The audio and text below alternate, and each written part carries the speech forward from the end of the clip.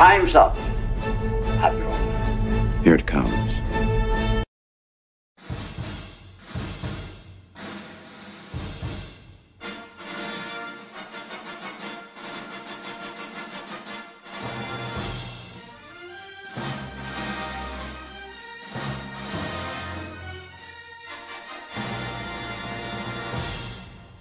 Give me the meat and give it to me raw. What's the matter? Take yourself a great big bite of meat. Taste the pleasure of the highest quality pork around.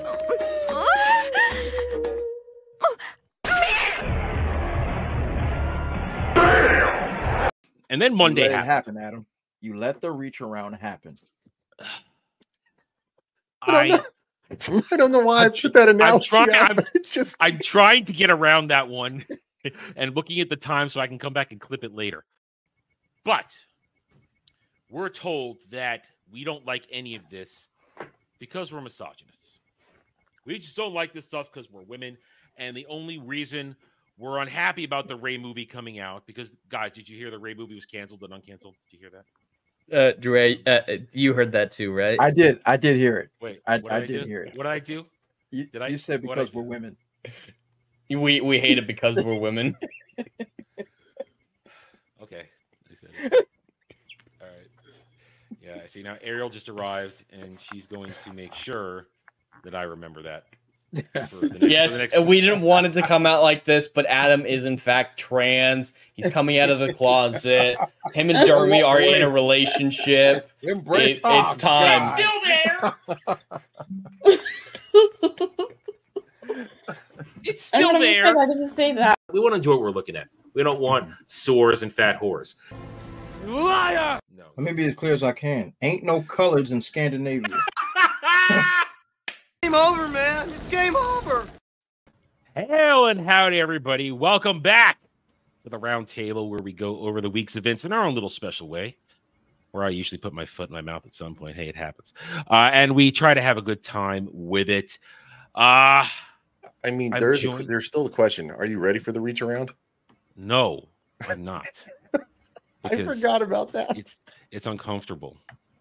Listen, the whole situation would be uncomfortable, and I would just want it to be over as quickly as possible if it was happening. So, anyway, right, hi everybody, welcome back. We got a good show for you today. Only really two topics, but there's a lot to talk about in these two topics, so it should be good. Hi, Jed. It's like I never see you. I'm gonna run that joke into the ground forever. I don't care. Oh yeah, that will be our permanent way to introduce each other. But it is great to be here. I'm excited to talk about Fallout because it, it should be a nuanced discussion, not Mm-hmm. a it's the greatest thing ever. And if you don't believe that you're an evil person, we're not going to have that type of discussion. So I'm looking forward to having a nuanced discussion about Chicken Fallout. bigot. I know. Yeah, just- yeah. just And- that's going to be a good one. And that's why uh, we've asked Ryan to join us today because Ryan is a Fallout guy. He's a Fallout lore guy. So he's going to be able to carry certain parts of the conversation that I cannot. So, I, Ryan, I well, am. thank, you, I- thank you for joining us today. Yeah, no, uh, thanks for having me here, dude. Um, I I really want to talk about this because, um, again, I'm a massive Fallout fan. I highly enjoyed the show, uh, probably more than you guys, due to the fact that I love Fallout. Is it perfect? No, no. There's there's some issues. Um, there's a big issue I'll talk about later on, timeline wise, but I'm I'm I'm really glad to be here, and I'm glad to say I was I was wrong about the show. I mm-hmm. was, And I say it to too. this- I was wrong. I said it in my review, which I've recorded prior to this show. I have to edit it. You guys will get my episodes three through eight review and we're done here today. But I- I'll say it now. I was wrong, and I can admit that. In fact, But- we're happy we were wrong and you specifically were wrong because that's we win when we're wrong. We get good Yeah. entertainment when we're wrong. But Unlike the, the people on the other side of these arguments when they're never going to admit they're wrong. but there isn't our nuance to being wrong. There's a lot there, there, there's a lot that goes into it where we could say I was wrong about the show, but in the in the lead up with what we had to work with, I don't take back anything I said in my original takes because Mm. that was the news, that was the commentary. it's Mhm. all fair for the Yeah. time Yeah, yeah. based on the information we had. Dragon Lady, how are you? Good evening. All right. Um, probably the only one who's going to be quite silent during the Fallout bit because I have absolutely no idea. Well, I've heard of the games but never actually played them, and Okay. I have no interest in the okay. TV series because I don't have Amazon Prime. So well, well, neither do I. I, I got a Uh, great website if you want to sail the high seas. I don't know. Neither do I. And Dre is not here because he is at a convention, working the work, working his book and stuff like that. Uh, and uh, we have we, we wish him best of luck out there. He's been having a good time. Go check out. He's been putting up some stuff on social media. Uh, he he said he might try and check in, so we make it we make it a Dre out of nowhere. I tried to make it up there, but because I had to get the Fallout thing done this morning, I did not have the time to take the drive out to go see him. But either way, uh, we hope Dre's having a good time, and we will see him back here next week where he will give his take on this if he wants to, and he will continue to update us on X Men '97, which also I may have been wrong about, but there's still five episodes to go on that, Yeah. so they could still go pear shaped. That's plenty of time to go pear shaped on that. But at the moment, it looks like I'm wrong on that one too, which I admitted as much on Wednesday. It's okay to admit you're wrong. Nothing. There's nothing bad about it at all. Mm-mm. All right. So we're obviously going to talk Fallout, and we are going to go back to something that is more my wheelhouse as well than Star Wars Outlaws, the ugification Ugh. of women in Western gaming, and these people who are supporting it. I mean, I'm sure you guys i have seen the discourse on the Twitter. Yeah. It's Yes. weird. It's It is. weird to say the least. And there's also some practical stuff surrounding Outlaws that makes you scratch your head. Jed, as an Ubisoft former guy, I'm Mhm. sure you're going to have something to say about some of the marketing strategy for this game. But before we do that, uh, let's go say hello and howdy to the chat. Hey, goddess, one of my mods, one of my regulars here to keep the peace, be my personal troll, and make sure that he tries to convince everybody that a death is a is a death, but a death is not always a death. Uh, if you know, you know. Uh, going on down the list, let's keep saying hello. Uh, Hail, good afternoon, Kale. How are you? Hail, Third Eye 47. I'm and I saw your, your later chat. I have Fallout 4. If I'm going to replay anything, it's going to be that one because I already own it. I do not have it in my budget, even on sale, because the my gaming budget has already been locked down for the next couple games. I cannot get Fallout 3 3 or New Vegas, but Jed has it, and Jed can really be the one to carry that load for me in terms of that. Uh, Well, I have a full playthrough of that on my channel. If anyone wants to see, it's actually the Doctor Who mod of Fallout New Vegas that I have. So if you guys are interested, there's a playlist for that. someday maybe but not in the near future. If maybe by the time they get around season two which could be probably two years away at least maybe but i make no promises. Um anyway hail to son of joxer huzzah my friend. Hail ruben x how are you? Hail jay fraser 360 good afternoon. Masquerade uh hail to let me see making sure i get everybody hail sam 8000 yes f disney star wars anybody else not chatting and just watching we're happy to have you here with us on this Sunday afternoon, where there's usually a lot of stuff going on. And if you're on your way back from Vegas, I hope everybody had a good time there. I hope you've had a safe journey home and are ready to share your adventures in Vegas. Uh, Dermy didn't get hurt enough, from what I hear. Not enough pain. or physical on him. Oh, They did. They didn't do the tasing, and they didn't do the What? pepper spray because they forgot. They all forgot to bring the tasers and the pepper spray. they forgot. there, there's shenanigans there. I'm sorry. They I'm forgot. official decree They- of shenanigans. they That's forgot. They- the people who were in charge of doing it forgot to bring the materials. oh my god. I saw him bring it up on the combo uh Skinemax Ballbuster show, where Dermy's like, Yeah, uh eh, there are sports shops around here, and nobody's going to get this. So I'm okay with that. Now I'm gonna bring it up on Friday when we go back to more ballbusters that there needs to be payment. He yeah, took the money the for chat that damage. paid for it. Mhm. They- he, he took took a money lot for of that money. damage. So I'm gonna say, hey, guess what? Let's eat some more chips and eat, let's eat some more chips. Mhm. Let's, I think he to needs to. payment. I think he needs to buy a damn taser and tase himself, and pepper spray No. himself. no, no, No, that's, I not, do. that's that's not funny. That's not funny enough. He, I need to see him preparing for it and not knowing when it's gonna happen and then having it happen. Uh, You got to do some more stuff with the plushies. oh well, he, he well I, I saw he, he dude dude he tongue tongued. that Did you see he reference. tongued the J doll?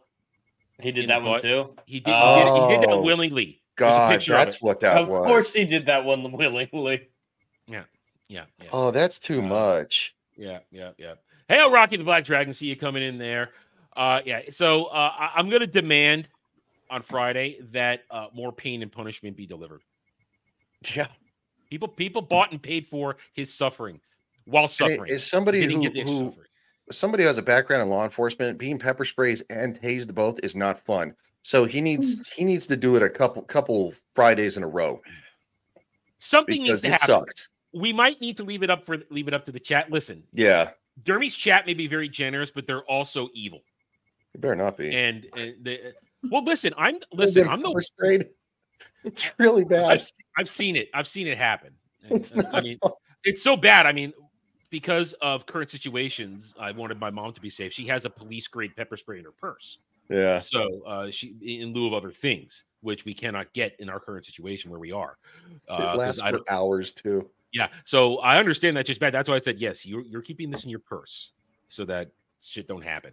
Um, but I want I want pain visited and Dermy. If you are watching this on replay, because I know he watches this stuff on occasion, he does catch up sometimes. Uh, I'm I'm gonna make a point of this. I'm make a point. I'm not letting this go. it's my job on Ball Busters to remind Yeah, he'll. Anyway, probably definitely watch this one because he's he's a big Fallout fan too. yeah. Oh, well, he was gonna when we thought it was weekly, he was gonna join us throughout the duration.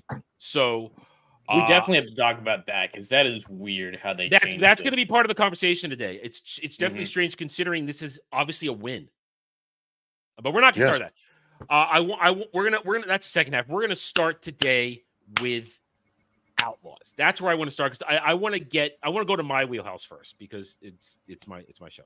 Um, uh, have we all seen the outlaws story trailer? Unfortunately, yes. I I have not, but trust Oh! me, I know it's Yeah, guess going what? around. Guess what? We're gonna watch it. Well, let's do it. We have to. I have seen it. I've Steer into given the my skid. We have to. This thing, this is a story trailer. Now we're watching it for content, not so much gameplay. We Ryan, you were here when we went over the gameplay trailer last year. Yes. And yeah. I- commented on on just about everything else that we're going to comment here. mhm. And for the record, for those who want to cry, we said she was ugly a year ago. Okay, we said Well, it yeah, a she year looks ago. frumpy. And then you What look at the actual frumpy? model. Like, are you Oh, we're, serious? we're- yeah, we're gonna get to that. I got that all lined up. But Ugh. let's let's get this started right here. Uh this is Ubisoft. Jed, did you have ever any confidence in this when it was Oh announced? Ubisoft? God, no! Ubisoft's been dead for years for Mhm. me, and Mirage is just further proof of that. Mirage was so bad, but yeah, a combination of Disney and Ubisoft, I knew it had to be a disaster. Just two juggernauts of stupidity working together. It's going to turn Mhm. out great. Mhm. Yeah. And listen, this I'm going to state this now. I said it in my take earlier this week. This is more Disney Star Wars trying to stretch out the period of time between Empire Strikes Back and Return of the Jedi. It's only a year and a half. And they just keep piling all the stuff in there. And there there and there's even and the reason. Well, there's reasons. Let's get to it. Let's start this. Each of you represents some of the most powerful criminal organizations in the galaxy. Note that most powerful criminal organizations in the galaxy that Disney made up. I, I, I just have one one criticism already. Is this Game Yeah. of Thrones we're watching? What is that? I don't know, but this is Sliro. His name is Sliro. I, I'm being serious though. It looks like he looks like they, they plucked Mhm. him from Game of Thrones. Yeah, That's he's what I not bad. thought. Well, he's apparently our big bad, sort of. I don't know. Well, anyway, Pikes, the Pikes, made up by Disney. hmm there's a theme to this episode. I'm sorry, this trailer, and it's not just the fact that it's bad. It's that it's just reinforcing Disney Star Wars lore while moving farther away from actual Star Wars lore.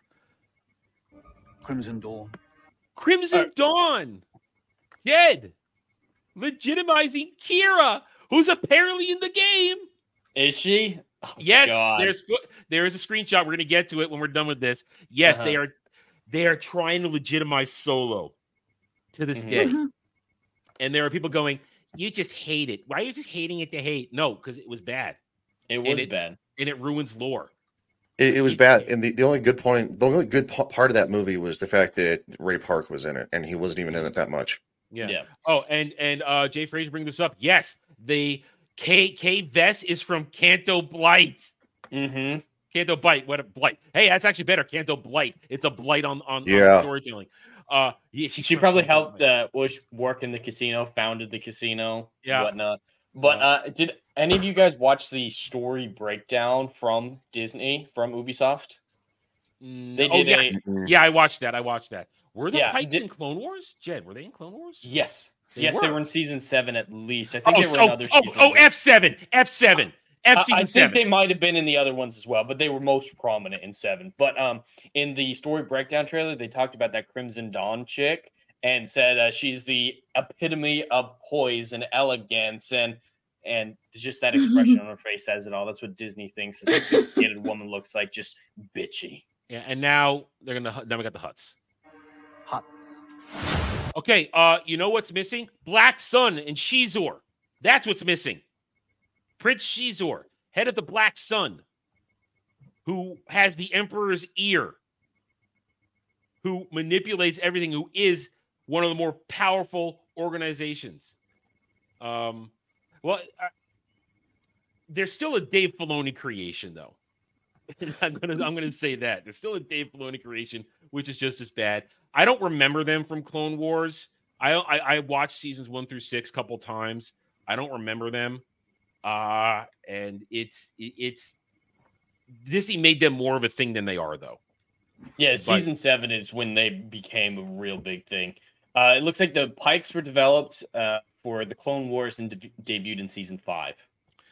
Wow. Okay, so it must have been really brief. Mhm. Yeah, It was- I- I've I've heard of the Pikes, but not a whole lot. And Yeah, by they- then, George was checked out by then by season five. He was not active much anymore. Filoni was completely running the show because that's when we got uh that's when we got the destruction of Mandalorians, the Mhm. making them pacifists, we and all that shit. So yeah, Filoni George was doing other shit at that point, I think. Uh, he was not paying attention as much. Anyway, yeah, but uh, it's they're not a thing. They aren't a thing. The Hutts are a thing. Black Sun was a thing. The Crimson Sun and the Pikes are not a thing. They're not a thing. I'm sorry, they aren't a thing. It's a golden age for the underworld. The Empire controls every corner of the galaxy. That's a lie. That's not. yet- Nobody controls the uncharted territories. Not even the Chiss. The Chiss control all the uncharted territories. This is Disney. Nothing matters. And It mm-hmm. changes every entry. and the outer and the outer rim of the known part of the galaxy is not controlled by the empire. It's controlled by the underworld by there's a thing called Hutt space. And yes it has shrunk since the time of the glory days of the old republic but it's it's there. It's not they don't control every corner of the galaxy. That's retarded.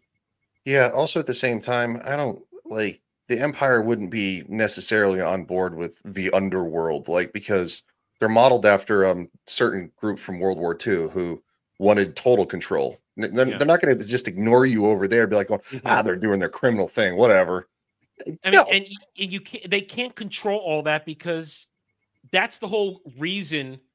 If you go to the actual lore for the Death Star is to control by terror because they can't Yeah.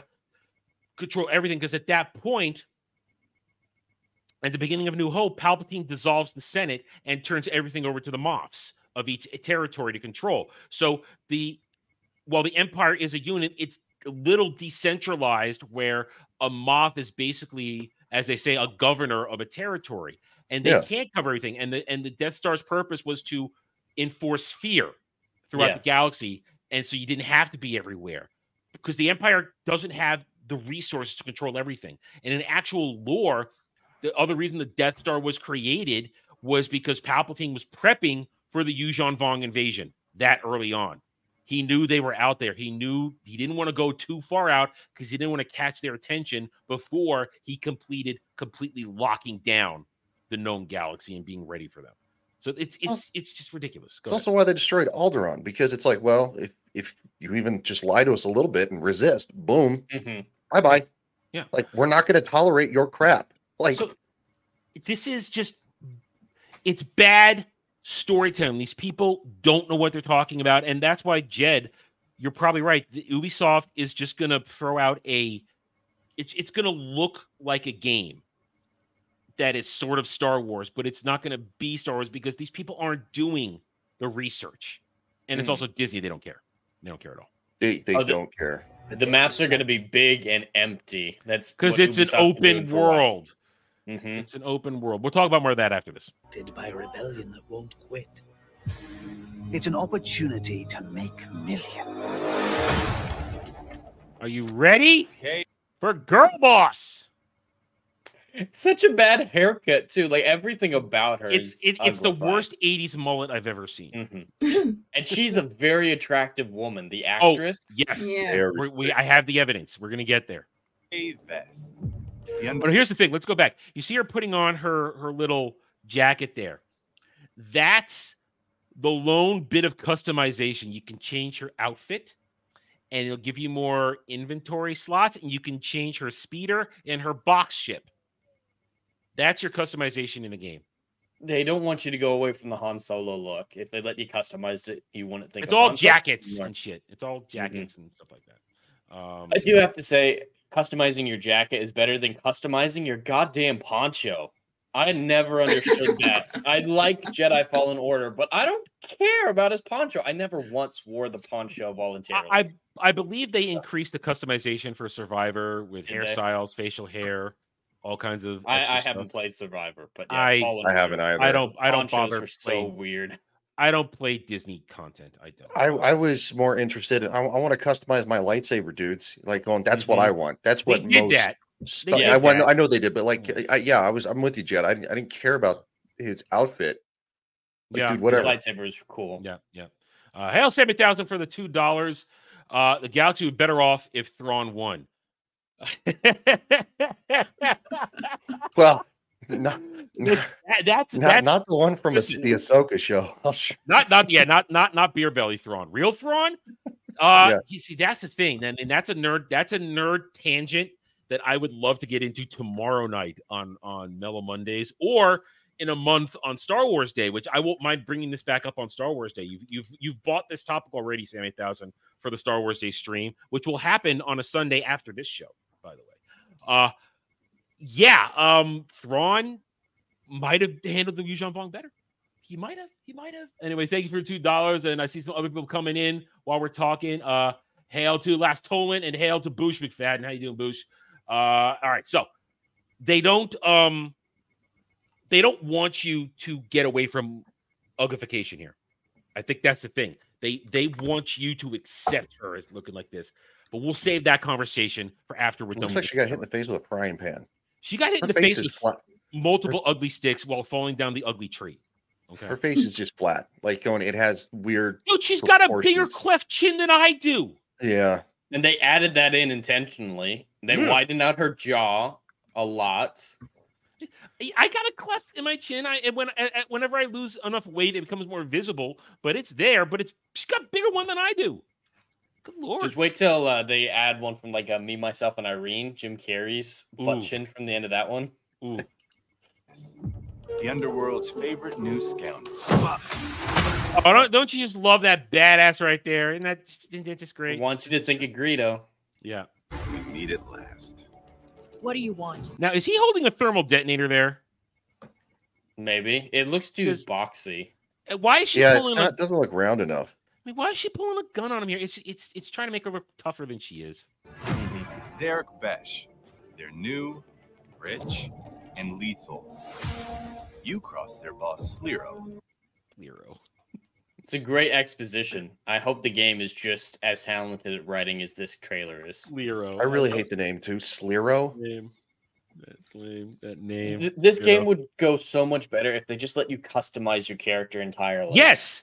If you would just it that would have removed 90% of what we're complaining about here. Because not only is it a bad character, but it's a bad character you're being forced to play. hmm hmm There's so many different options you could have had, and if nothing else, Ubisoft hasn't really ever done a game like this, but more Mhm. like the Knights of the Old Republic stuff that you used to. You can choose your class. You can choose like, you want to be a Jedi? Do you want to be a smuggler? And customize your character. More s- the cyberpunk route where you have different, like maybe three lives you can pick and customize your character. It would have worked Yep. so much better. Or let's just go the Mass Effect route. Your Mhm. command, your your su- your just your last name is all that matters, and you're going to be that. And yes, we are going to get into that, guys. Do not worry. We're going to get into Humberly Gonzalez, and now she's a pretty girl. Now she's a pretty girl. All right, so I love that modern haircut Now, that everyone has. he The wants men. you. Yeah. Oh, look, her. I, I will pay, pay dollars to donuts that Kay Vess is going to turn her around, and they're going to be together. Switch sides. Oh yeah, wouldn't Because- surprise me. Yeah. Oh, and Oh, this, not lesbians.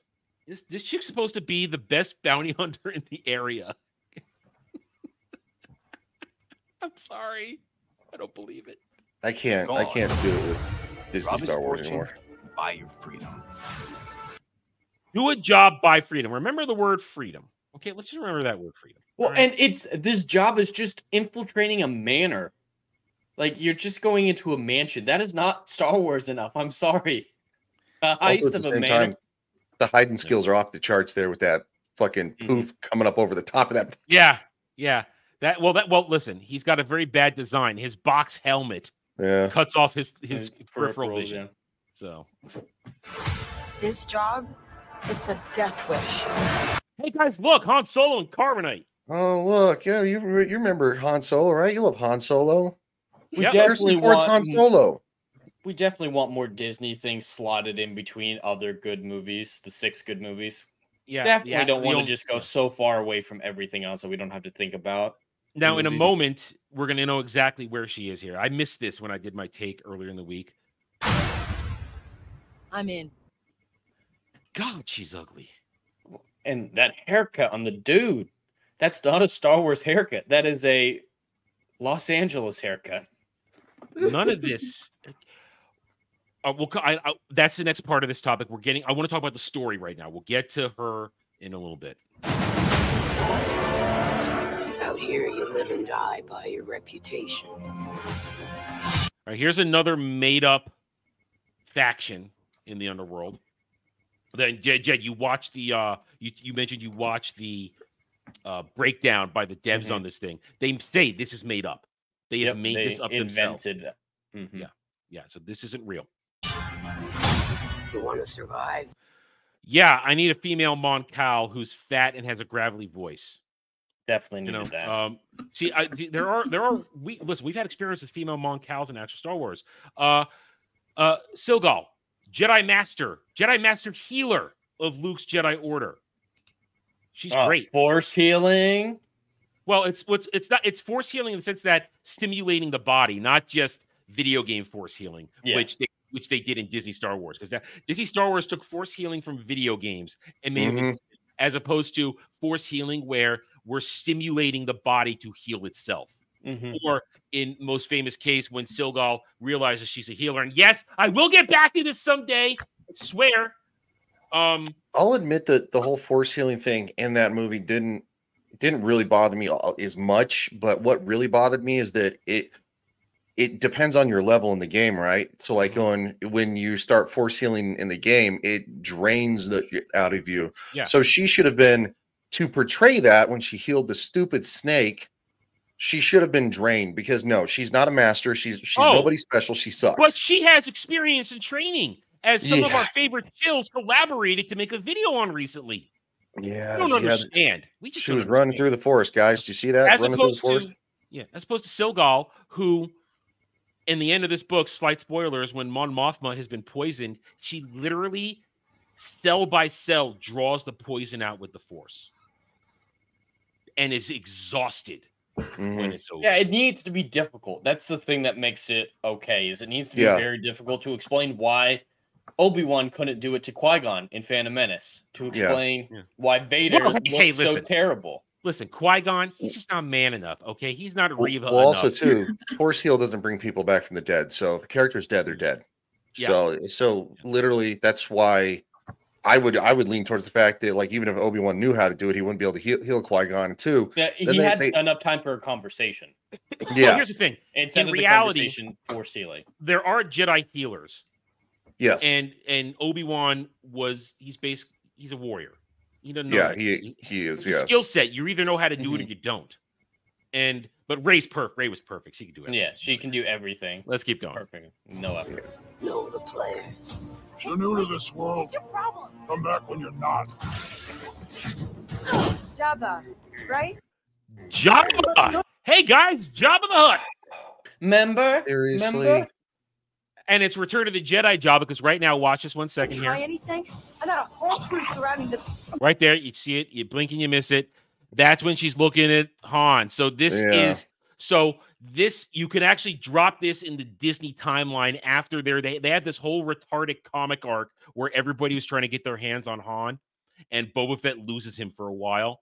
And that's where Qi'ra and the Crimson Dawn come into play and all this retarded shit.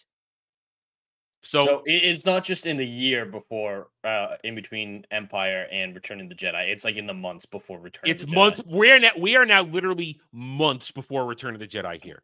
You can place it.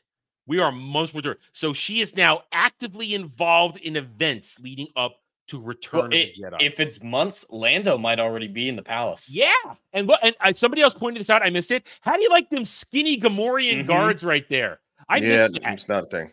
I missed that. Uh, no, yeah, because exactly. it's fat phobic to have goblin ogre looking guys be Even fat. even in Knights of the Old Republic, them some pudgy some bitches. Oh, Gamorreans are fat. Yes, they're pigs. They're warthogs. Yes, they're they're alien pigs who have very low intelligence. They're not smart. That's why they're fat hired as phobic. thugs. Hey guys, just just think about when when they finally redo the original trilogy. Now they can actually put her in Return of the Jedi. She'll be have a big Oh, part in it. oh, it's just gonna be like the thing. Guess what? Um, Ahsoka was there, or not Ahsoka. And Sorry, Rex- no, I'm not. Not Rex- sorry. Not not. Yeah, they, they Rex tried. and Hera. That's what. Yeah, that's it. Sorry, that was it. Rex and Hera were there because Disney Star Wars says so. Hera was at Hera was on Hoth. Didn't you know that? Because Disney Star Wars says so. No. Yeah, and no. that, and that Yes, stupid no. retcon that the beard with the white dude, the dude with the white The beard on Mhm. Endor is Rex. That ridiculous retcon. It's it's, it's stupid. And and they didn't haven't even, even heard bother that. to. Oh, you never They didn't that? even bother I to heard that. write in the character stuff with that because Rex knew Anakin very well. You got to have Luke talk to Rex about his father. They skip Yeah. over that, like they skipped No, over really Luke don't. meeting Ahsoka. Yeah. Luke met Ahsoka off screen, and they didn't. You know, it's like, yeah, you, Yeah. you my dad. so yeah, because remember th- this is 1982, 1983 because movie filmed in 82, released in 83, and that bearded, white bearded dude has been there forever, long before George created the clones and let Dave Filoni create Rex. So no, it's a headcanon retcon by retards. It's not a real thing. Just like skinny Gamorrean guards or anything. Just like Hera being at Hoth is not everything. Just like Hera being the perfect foil for Thrawn in the upcoming mm-hmm. movies is a thing. No, it's not real. It's not real. But we're gonna get into that in a bit too. We got more to talk about that. So let's keep. Well, let's I. I, I 100% predict because this is so close to Return of the Jedi, they will have to interconnect their storylines to a degree and make her responsible for some things that happen in Return of the Jedi. Whether or not that's helping Lando get his cover, getting Art 2's Oh uh, man, lightsaber wow, setup, you just totally poisoning Jabba, help Princess Leia. you just totally introduced something different across my mind. I will not be surprised if she does a mission with Lando.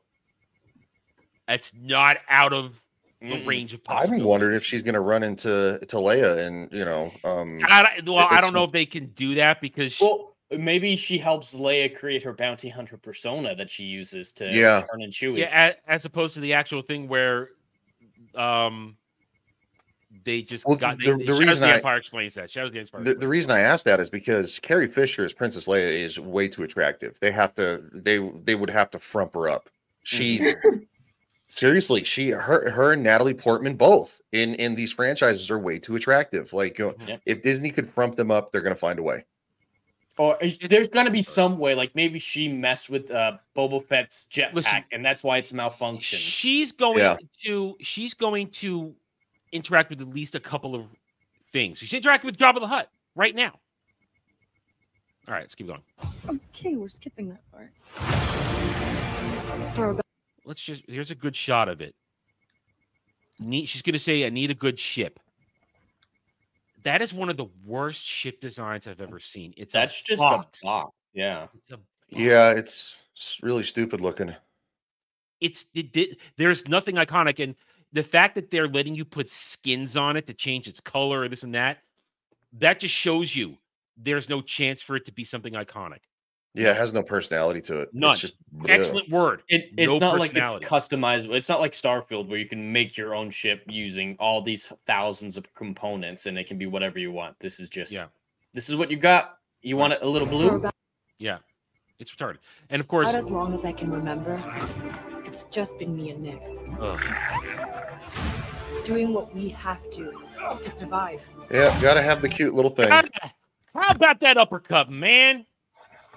That's a wind up and a punch, and her and her stupid little uh, Lilo and Stitch wannabe thing. That, that- that's that's the meme that I'm here going around. Yeah, Lilo. Yeah, Stitch. Mhm. It looks like Stitch. and it's why do we need a fluffy companion? Do You they don't. think do they think they're going to capture Baby Yoda Grogu in a light lightning Oh, bottle? all they're over again? going to try. Every single Star Wars property has to at least try at that because the Baby Yoda success was unparalleled. It Mhm. was it was a lightning in a bottle. It I- was. I love thinking about that. Baby Yoda wasn't even their first try at it. They tried Yeah. Baby Jabba the Hutt first. Uh, oh, yeah, Jabba the Hutt's kid. Yeah, that was Yeah. in, in the in the Clone Wars movie. Yeah. Yep, I remember the that. movie's so Yeah. bad. 2008. Yep. It's bad. This job is my one shot at freedom. Freedom. She keeps saying that, but what does it mean? That's her. But Jed, that's her story. She just wants her freedom. But who who's enslaved her? Who's captured yeah, her? Who's, Well, Yeah, you know, And what part of the patriarchy has her enslaved?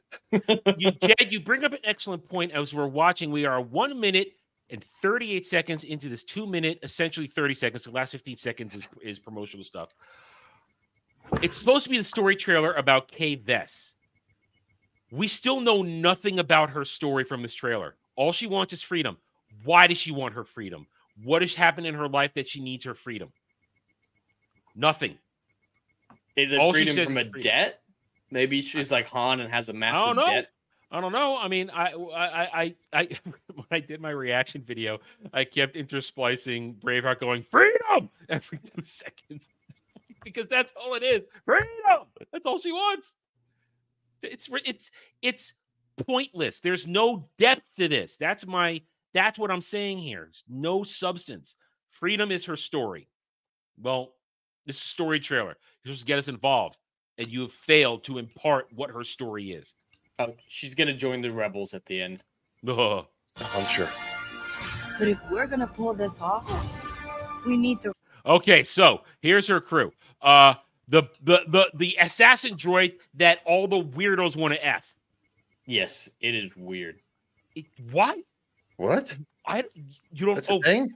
th- it's a thing. It's a big thing.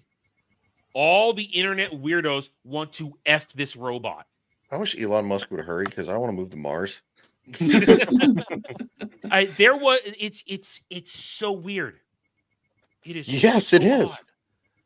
It, it, I didn't know put that was a trench coat on thing. a droid, and everybody's going, "Oh my god, I want him to f me." Both straight and gay want Mhm. him to f them. Wasn't that get kind of a thing a little bit too? It started with Solo because they're like, Yeah. oh, Oh, Um, well, yeah, that's Lando had sex with Yeah. droid. the, w- uh, sex with the uh with with the uh What was feminazi one thousand. Li? Mhm. yeah. Leet. Who's- He's leet. Who's the uh the control computer for the Falcon now? No, no, no, not a thing. Voiced by BB Phoebe Waller Bridge. No, the the the, the Millennium Falcon is controlled by three droid brains that never get along, not the feminazi 1000 that is that that died for robot freedom in Solo. Give me a break. My my question Alright. about this droid is why does he need to wear a coat? Droids don't usually wear clothes. To make him effable, Jed. I, that must be it. Make him look sexy. All right. I always I forget the don't name of the species. I always forget the name. We just call them like the rodents generally. Uh one of these. crew. We're gonna get a Rodian scientist, I guess, for your crew. And we need women in STEM. and that's and that's a female Rodian Mm-hmm. because you can tell by the by by the poof of hair. That's a female Rodian. And the right ship. The right ship, the Fox ship. Oh look, forced comedy, guys. Don't you like forced comedy? Isn't that funny? The adjustable seat joke has never been funny. I'm gonna be honest, it's never been funny. No, no.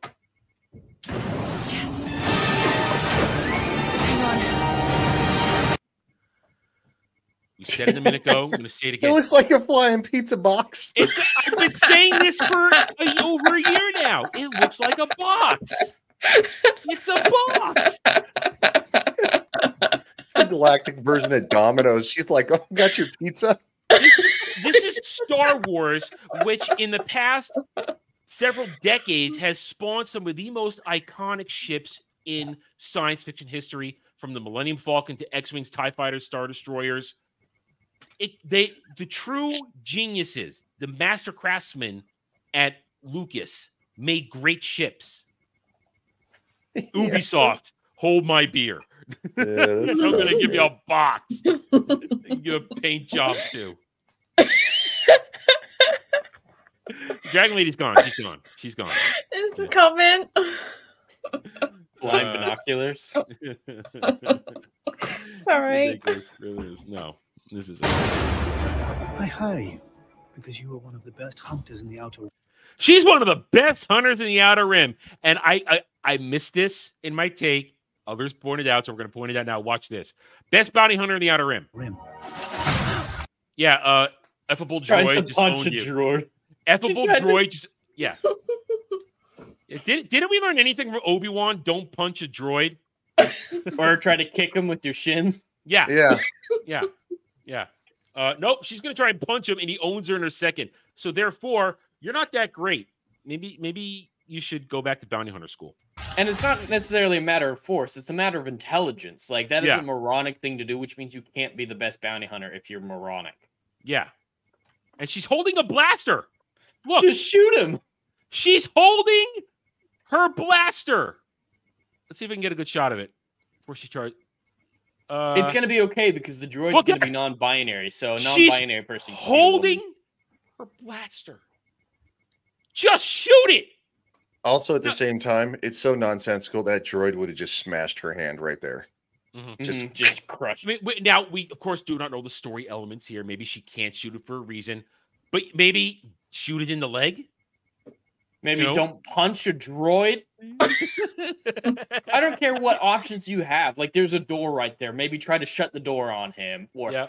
I'd have, Punching I'd have him been is fine not if she an tried to pick up a chair and hit him with a chair. Yes. But what you're tr- Yeah. why, Why are do they? Why trying do to? they always? Why do they always have to punch the droid? Seriously, he- that's gonna hurt you more than it's gonna hurt them. Yeah, Mhm. and and if she's such a great bounty hunter, she might have had an ion setting on the pistol, which would be effective against a droid. You don't have to blow it up. Yep. Ubisoft and Disney, good job. Okay, She's more connected than you let on, Sliro. uh, that that's a great performance, isn't it? Outstanding voice work. Yeah. I'm, I'm so excited. Vess is mixed up in something bigger. Look, guys, a Star Destroyer. And now here Yeah. comes lame adventure music that doesn't sound anything like Star Wars. The Outer Rim is a dangerous place. Everyone is fighting for their piece of the galaxy. But all I want is to live free. She just wants her freedom. That's her story. She just wants to live free. What? What does that mean? I From just want to live free. I mean, if this had been a legitimate story trailer, we would have started with a clip of her background, where she comes from, what she's doing. We're supposed to be invested in this character, and this trailer does nothing to invest in this. It just shoves an ugly design in our face and tells us you got to like her because she's spunky and a badass. But I still don't She's get Han it. Like, Solo. What, what does she? What does she want freedom from? What the Empire? This We guy don't that's chasing her? Like, We yeah, know. like the trailer doesn't tell us freedom from what exactly. it, it Freedom honestly. money. So I'm guessing what? probably debts, but then debts are her own fault. So why should we sympathize with that? I also think it's foreshadowing too for her to join the the rebellion. I really oh, do. it's likely. Oh, yeah. it's likely. I- I'm not, yeah, I think that's surprised. horrible foreshadowing for that. Yeah, because uh, apparently in the game you can ch- everything will change about how you do this and that. Their claim is going to be uh consequences, choices, and consequences. I'll believe it when I see it. I'll believe it when I see it. And they might pull it off, but as Jed said, it's probably just going to be one long, boring, drawn out, moving about from one map to another, and and and quests. They're going to all really kind of feel the same in the end. It's going to be a bunch of pointless collectibles. That is Mm. going to be the most interesting thing in it. That's what uh, Mirage was. Mirage was a smaller map, and there was nothing to do within it but collectibles. Mhm. Boring as shit. and, and- and your your your faction reputations will matter and this and that by jobs you do. Yeah, I'd be interested in that if I knew what her goddamn story was. I don't Mhm. know what her story. Why is. should I care about her? Why? Perfect question. Why should I care about her? You Because haven't done a single thing here to make me care about her. It's more freedom, guys. It's She's freedom. freedom fighter. Freedom. All right, let's finish it up. Oh god damn it! There we go. Wrong screen. Okay. So I'm gonna risk it all. I'm gonna risk it all. The actress might be good looking, but she doesn't seem like a Or her good delivery. actress. Well, no, we're we're talking. We're not. Yeah, her delivery is about as good as everybody else in this. It's shit. It's pretty bad. But she, but she's hot. We'll get there in a second. It's very flat. Hold on, Nick.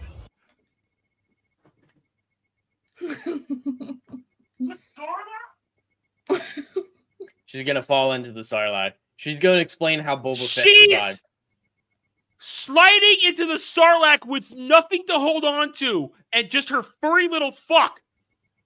No, no. At the end, right before she falls in, she's gonna jump and she's gonna catapult to the other side and cling on. Yeah. This is this is just stupid. It's But just you Like don't want to see this- inside a Sarlacc pit. There's gonna be like tunnels, and you're gonna I've go seen around. its diagrams gut. of the Sarlacc. Okay, it's just this thing. It's there. This The great- reminds me of Tomb Raider, the new ones when you're sliding down the hill and you got to Mhm. jump before you get skewered. Mhm. This is it- no. This is this is a cutscene. This isn't even a a, a quick time event. She's sliding in there. This is stupid. This is stupid. What is she going to do? A great flip to grab onto this cable there? I don't probably. She's got her little grappling hook thing, so maybe. Yeah, I would it- have it- used it it's- before this point if I had it, but And I'm going to bring it up. Everybody else brought it up. I didn't bring it up in my take because I was just more focused on the retardation of it. Why are we back on Tatooine? it's the only planet. because that because there's sand and it gets everywhere. It's even I- in the damn video games. They don't, Yeah. they don't have enough Well, money for U- new sets. Ubisoft, Ubisoft is obsessed with sand cultures, so Yeah, it helps. you're them. right about that.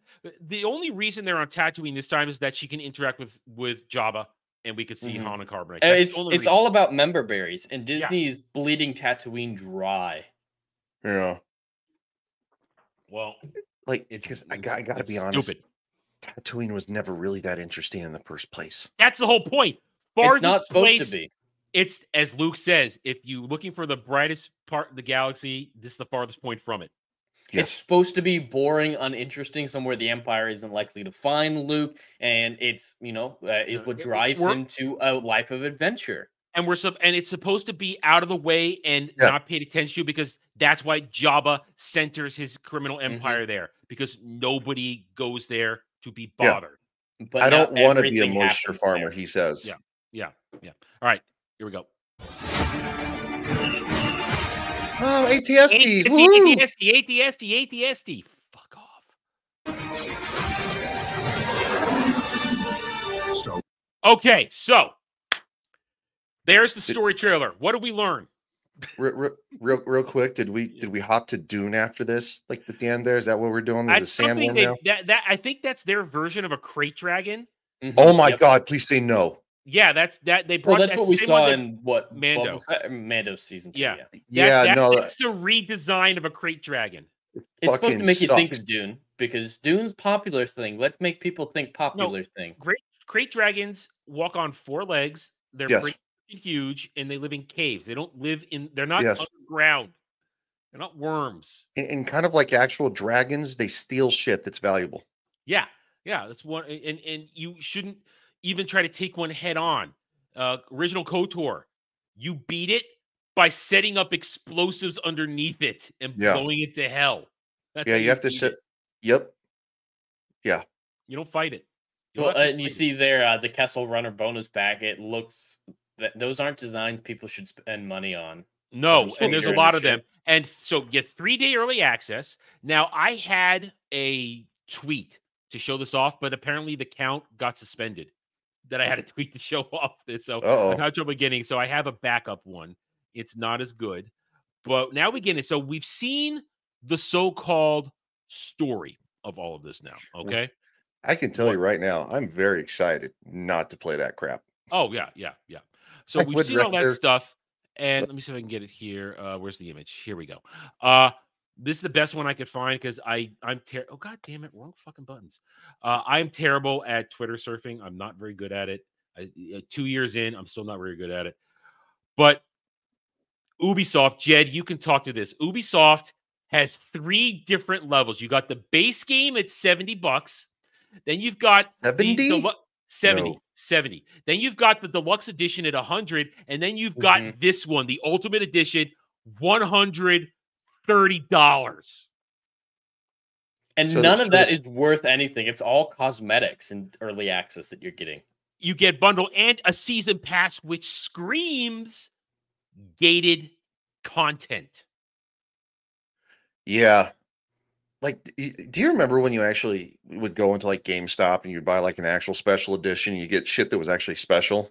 Like, I was never I, I never spent the uh, money on special edition. I, I never did either, but like you you know when like um I I- bought it at, after the fact, so like I, I have um a, a T60 helmet, like Mhm. on the ones that um you know that they they thought they had like mold or something like that, um Yeah. and then it turned out they didn't.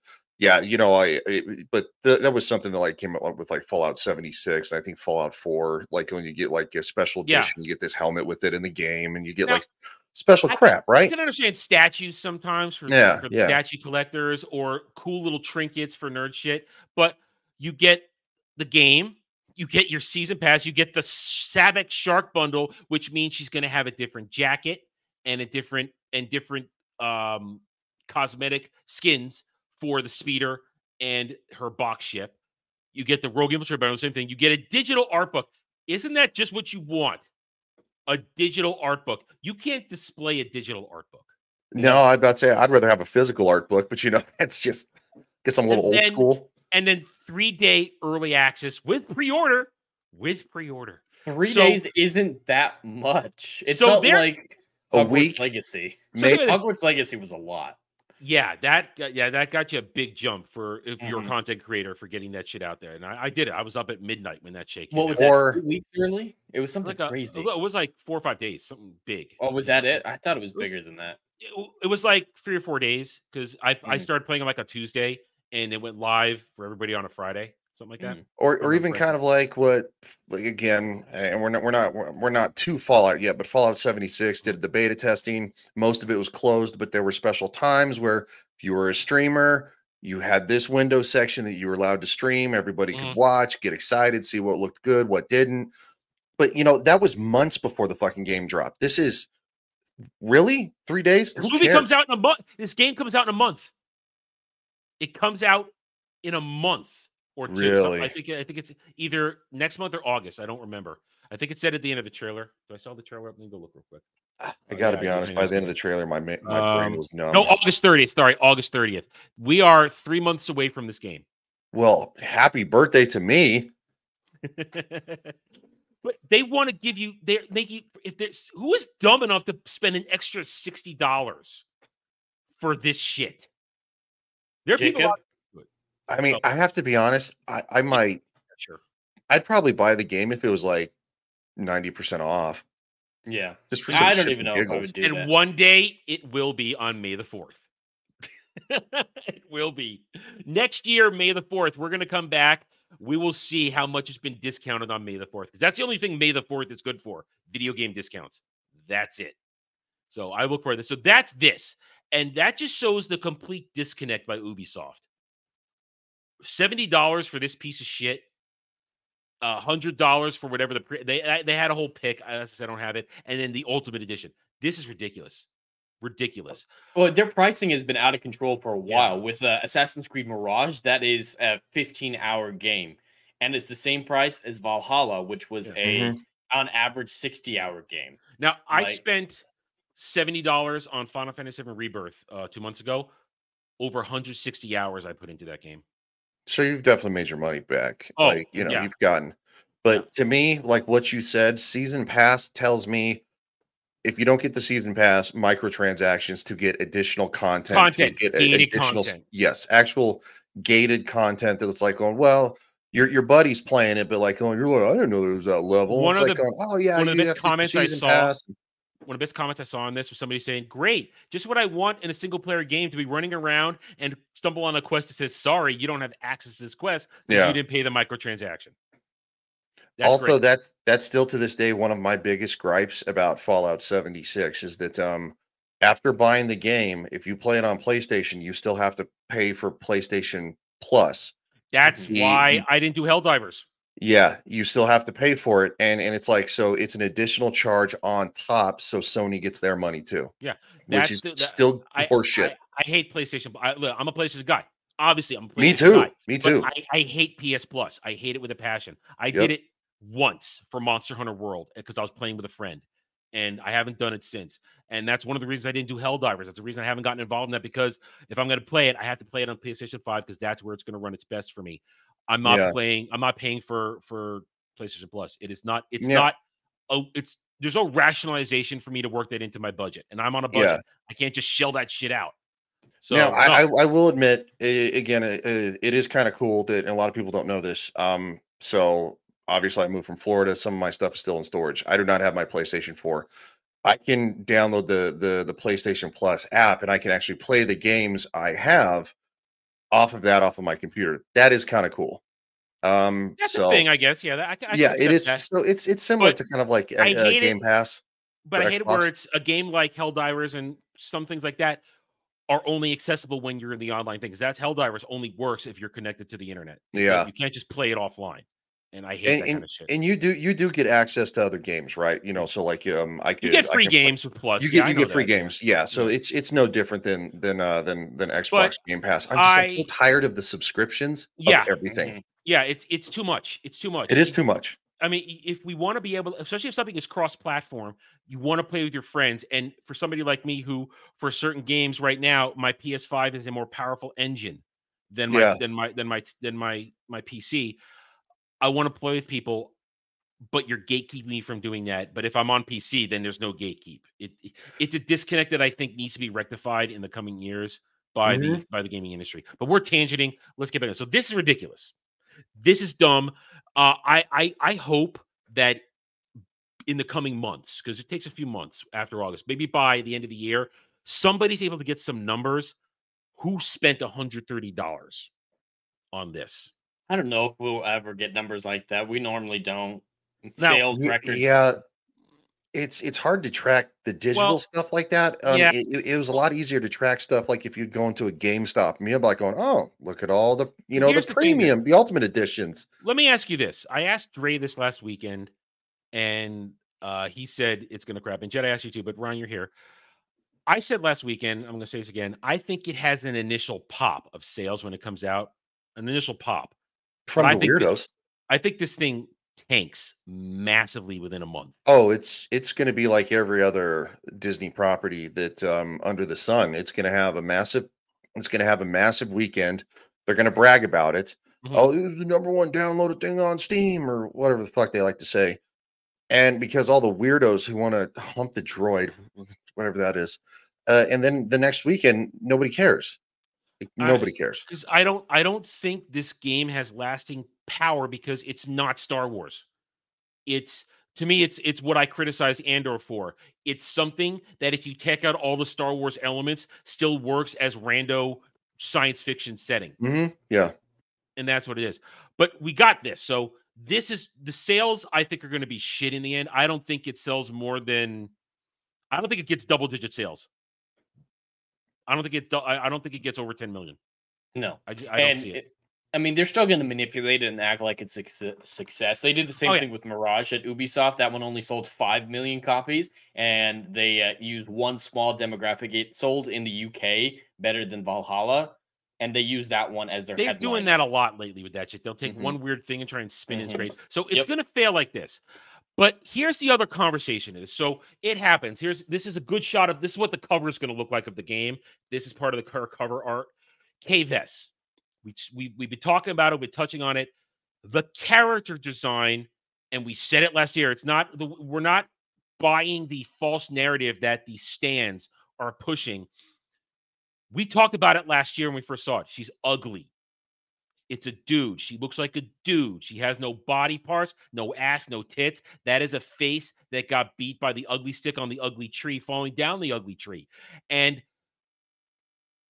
it's in the face of, and I talked about this on Wednesday, in the face of playing Final Fantasy VII Rebirth, where you have Tifa and Aerith who have immaculate designs, in the face of Eve with Stellar Blade coming out, in the face of all these other games coming out of Japan and Korea where they are just thrusting, and I mean thrusting the boobs and the butt and the beautiful faces in you, at you, however you want to take that. Yeah. They're doing that. They're doing that for Western gaming to continue to push ugification. It, it, it it's not it, it it boggles my mind, especially when that's a that's a pretty girl. Mm-hmm. That's a pretty girl who I would invite out for a night on the town and into my bedroom without question. Also, she's very very diverse. I'm surprised they didn't go with this look. And she has a body. She has a body too. This chick has a Mhm. body. I've seen her body. This is an attractive woman. Yeah, the, the game character does not look diverse like this woman is. I don't know No. what that's supposed to be, I but yeah, don't- it's very race ambiguous. Yeah, and uh, I'm I'm gonna use this word. And that's the point. ambiguous. And then uh, drinker. I saw. I only saw this because of drinker. Once you see it, you can't unsee Oh, I it. did too. I saw that. Yeah.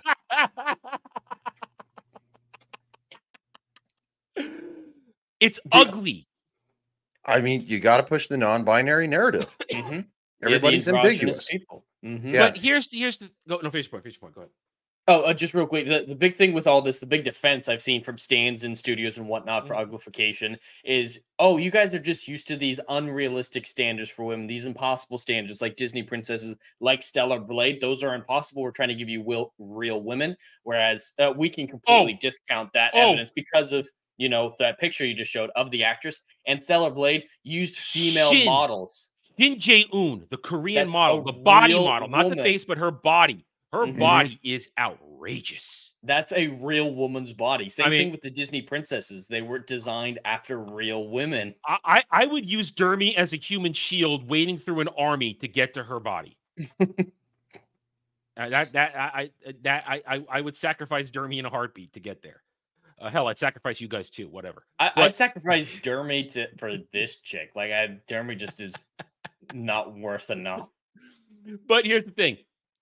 They do this on purpose, but then we get the stands. Let me see. Do I have these in the right part? What, let me see. What's this one? Hang on a second. Um, what's this one?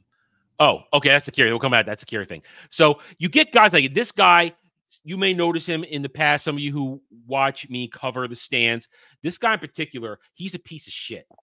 If you think get Kay Vess is ugly, you are delusional. This guy is a retard. Kay Vess is beautiful. Stay mad haters. These Dude, people are horrible shills. Tell me you've never kissed a girl without telling me you've never kissed a girl.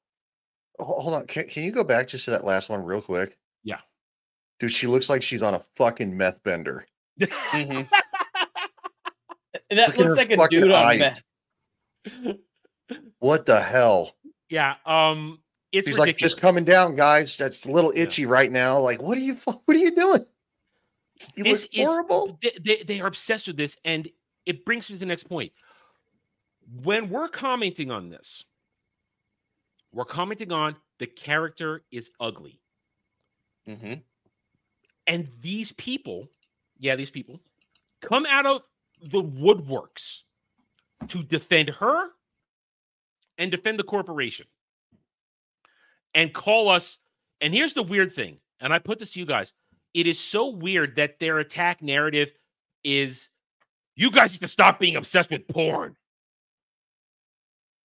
I'm about to say, I got to be honest. And they're the really ones pushing. Yeah, they're the ones pushing uh, sex work is real work or whatever. They're the ones Mhm, pushing yeah. it's empowering. And It- they're the ones who want to get effed by the droid. Yes. They're the ones who get all we said is this is an ugly chick. Why can't we have no, not that. Why can't we have this? Yeah, just let the actress be the actress. If it's based Yeah. off the Yet- character's look, let it be based off the character's look. Yet Deborah Wilson, you know, the, the bug-eyed black chick who used to be on Living Color and now does voice acting work, she gets a minute to minute detailed representation of her face in every goddamn game she's in, including the Jedi Fallen Order series. She they can they can accurately represent her, but they can't put her face. They can actually get Cameron Monaghan on his for as, as the star of the other games there too, but they can't do this. It screams they are pushing the shit. Let me go. I want to bring this down because I want to. I gotta bring something up, and I don't want to uh, bring up a wrong screen here. But they put this shit up, and as you said, it's this weird thing where they're obsessed with telling us stop thinking about porn. No, okay. One first of all, when I look at Eve, I'm not thinking about porn. I'm just thinking about tits and ass. It's not necessarily porn. But uh you get this. Where is it? Um swear to God. Well, I mean, I've it's bookmarked it. It's also happening a little bit, and, and I'm not trying to jump forward. It's also happening on on Here we go. the person who modded um uh Ella Purnell's butt on Mhm. the poster. Like, Yeah. going, the people are like going, Uh, oh, "Yeah, is that her real? Is that her? porn." Like, is that her real butt on that? Is that her real butt? Well, I don't. Somebody photoshopped um Well, one they to they make it like changed more. it in the in the Fallout poster. I know, and yeah, Uh, listen, But yeah, and I, I don't know if see her that ass is in or not. But Yeah, see, I, we never see her ass in the show. Yeah, it- it's a Yeah. fake ass that they she did for that photo. But the big thing is, like you were saying, everyone was commenting like you you've been too obsessed with porn. Oh, you need to get a girlfriend, and like, oh, men, I hate men. And it's a woman who did that Photoshop. Yeah. Now here's Yeah. the thing. No, they talk about porn, and then I found this today. The list of ugified characters. There's Kay Vess. Here's Aloy. M- Mumps Aloy. Aloy wasn't a looker in the first place, but she was one of she's like one of the patient zeros of Mhm. a model who was drop dead gorgeous. mhm. And they made this. yeah, and, And- and obviously that's from from the second game because second game. there there is a difference between the first and second game. Oh, big obvious difference. The, the, the first game, jaundice. yeah, the first game, not the best, but not the She- second she's game. attractive, and it, it's, enough it makes sense in a way. Yeah. Still, the, uh, the the the face model was gorgeous. But they Mhm. did this, so they got this. Uh, the Forspoken chick was ugly. I don't know what this is from.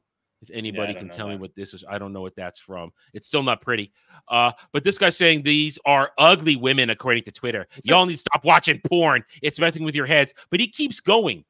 He dares to bring up Spider-Man 2 MJ. Yeah, that's so not bad. ugly. I, I get the control one, uh, the the second wom- uh, woman on this one. Um, that's a bad shot. of her. She's actually Okay. gorgeous in control. Control's actually. Okay, I don't know. game. Okay, okay. So that one, he. I'll give him that one. But Oh, look, Abby Smash. the, the, what sucks though, season two is actually casting an attractive actress. For I her, so know. I hope I've they don't do that. anything terrible for her. Hey, well, isn't hey, isn't isn't she supposed to be like young Abby or something? Isn't that what I it don't is? know. I don't know. I don't know. I'm not following She's old shit. enough to play the real Abby. Is she? Well, she's not The big enough. Well, uh, from- um, yeah, she's not big enough. But from She, uh, Last she Man better get on that juice. Uh, but so we got this, and then of course, uh, this shit. I don't even know what that is. That's from an early PS5 game. Is Uh, But, but where you, uh, I forget what the game was called, where you can rewind time or some shit like that. Uh, it's somewhere again. But you look at th- these guys think that this is. Be- oh my god!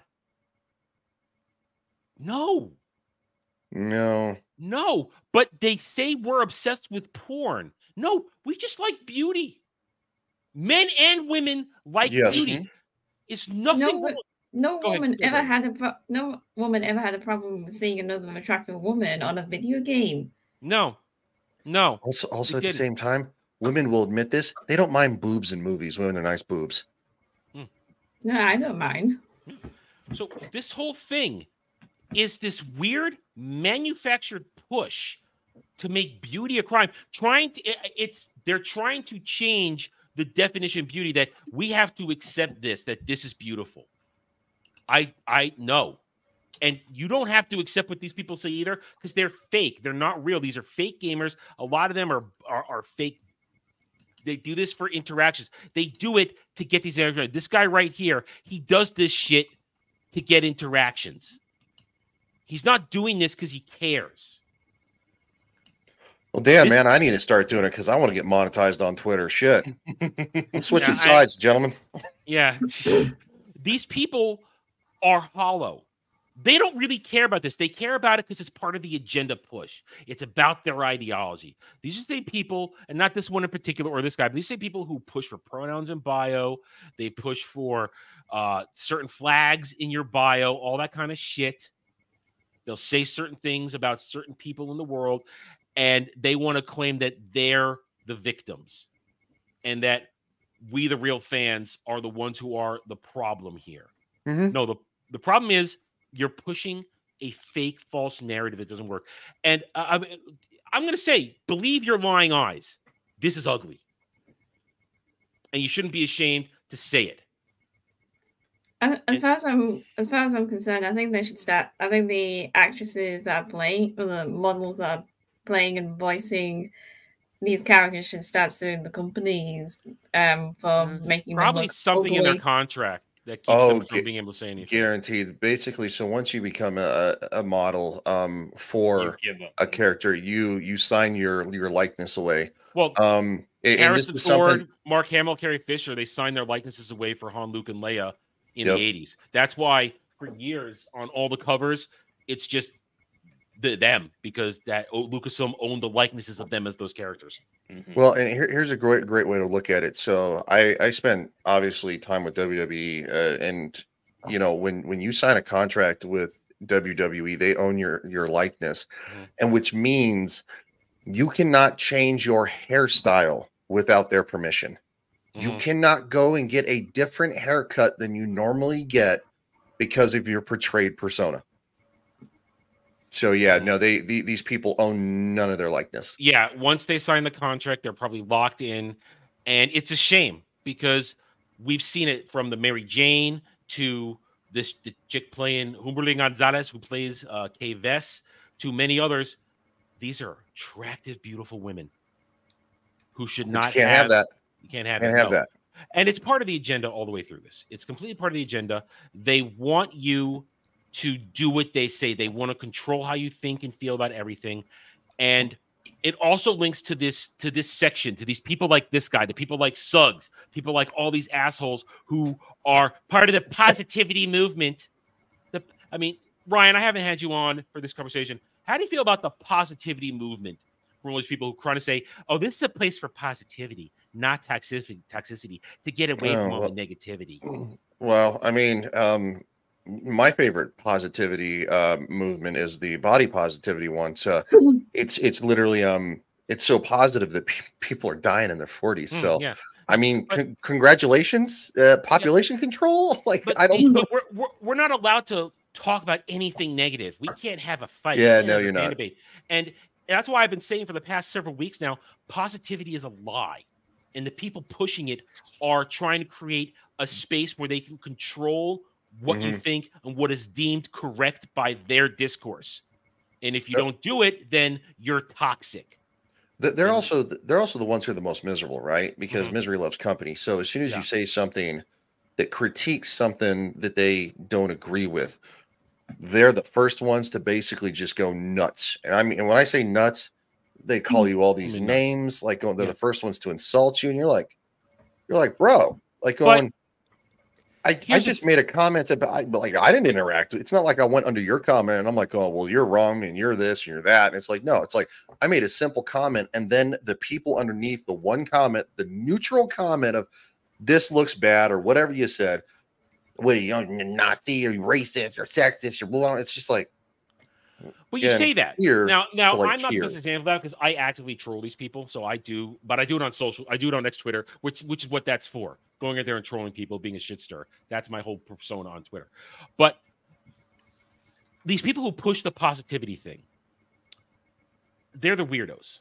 Mhm. They're the ones who have tried to change the fan base to what they want to push us out. And you get people like this, still still with the ugly concept, guys like this. Uh read Star Wars, Victor. Look at the profiles at the people complaining about her looks in the response to my tweet. Their feeds are either one super political two empty or three typical fandom menace nonsense the outrage for this is not organic and a specific type of person who is complaining first of all pronouns thank you you're Mhm. the one who is the political one here. Secondly, you are a fake fan. The moment you say legends, I know exactly who you are. And secondly, you reveal yourself as the not organic when you say fandom menace. Fandom menace hasn't been a thing for four years. And it's never maybe even- really a thing. Yeah, I'd probably even argue call. it stopped It being a- a thing in 2019. Yeah, and once Rise of Skywalker ended, and then the people who were trying to use it as a banner ate themselves or cling to it, and and and really that's when more solid foundations of of fans started to co- uh, con- consolidate into we're all here, we all see each other. Let's create our our buttress, our ba- our pushback against what's going on. Fandom Menace vanished. Mhm. It, it, it hasn't been a thing for years. This this is why, and I replied, you're the one who's not organic. If you're saying Fandom Menace is a thing, it shows you're fake. You're completely fake. But then there's also this, and and there's a cyclical thing. I mentioned it last week. There's a cyclical thing when it comes to these Disney stands where they want to try and push the same things. Right now, it's the I'm seeing a lot of Rey is great again. Also because Daisy Ridley's about to have a movie come out in less than a month. It's going to lose a lot of money. Oh, really? I didn't even know she had one coming out. Yeah, it's about uh, a historical documentary of the chick who swam the English Channel. Wow. I'm Yeah. fascinated. Yeah, I mean, by Disney and made by Disney. So oh, it's made by. yeah, it's gonna be uh probably make no money. But then there's this one. Uh, when you when when are you old EU cultists going to realize nobody took your freaking books away from you? It's all fiction. None of that was ever going to be live under action under George either. My God, it's become pathetic that this is all you bitch and moan about. They call us the cultists as an EU guy who was there from the beginning. Uh, we never tried to convince anybody to read the books. We just said they're good, and if they people found them, it, you had a good time. Uh, they're the ones who yell and scream at you if you don't join their side and reject everything before. That sounds like the Yeah, cult to me. Yeah, and It's cultist behavior. Yeah. But what is she what is he saying fiction about? It of course it's fiction. Is Yeah. that some sort of own? I mean, your Disney not smart canon is fiction too. yeah. Yeah. Even No. live action doesn't make it non-fiction. And No. we never asked for anything else. We just wanted our books. We never asked for live action. I just And not wanted my only books. Not only that, there's there uh, the Disney EU, as it were, isn't actually selling book wise at all. I'm seeing Oh, Disney High Star Wars Republic. doesn't sell. It doesn't I'm sell. seeing High High Republic. I, I'm seeing High Republic um books that have been sitting on the shelves for a year Rotting. or more on rotting. in It- Forbidden It's had Planet. a, it's had a ninety percent drop since Phase One of the High Republic. Jesus, It uh, Dr- Drunk3PO has the numbers on this.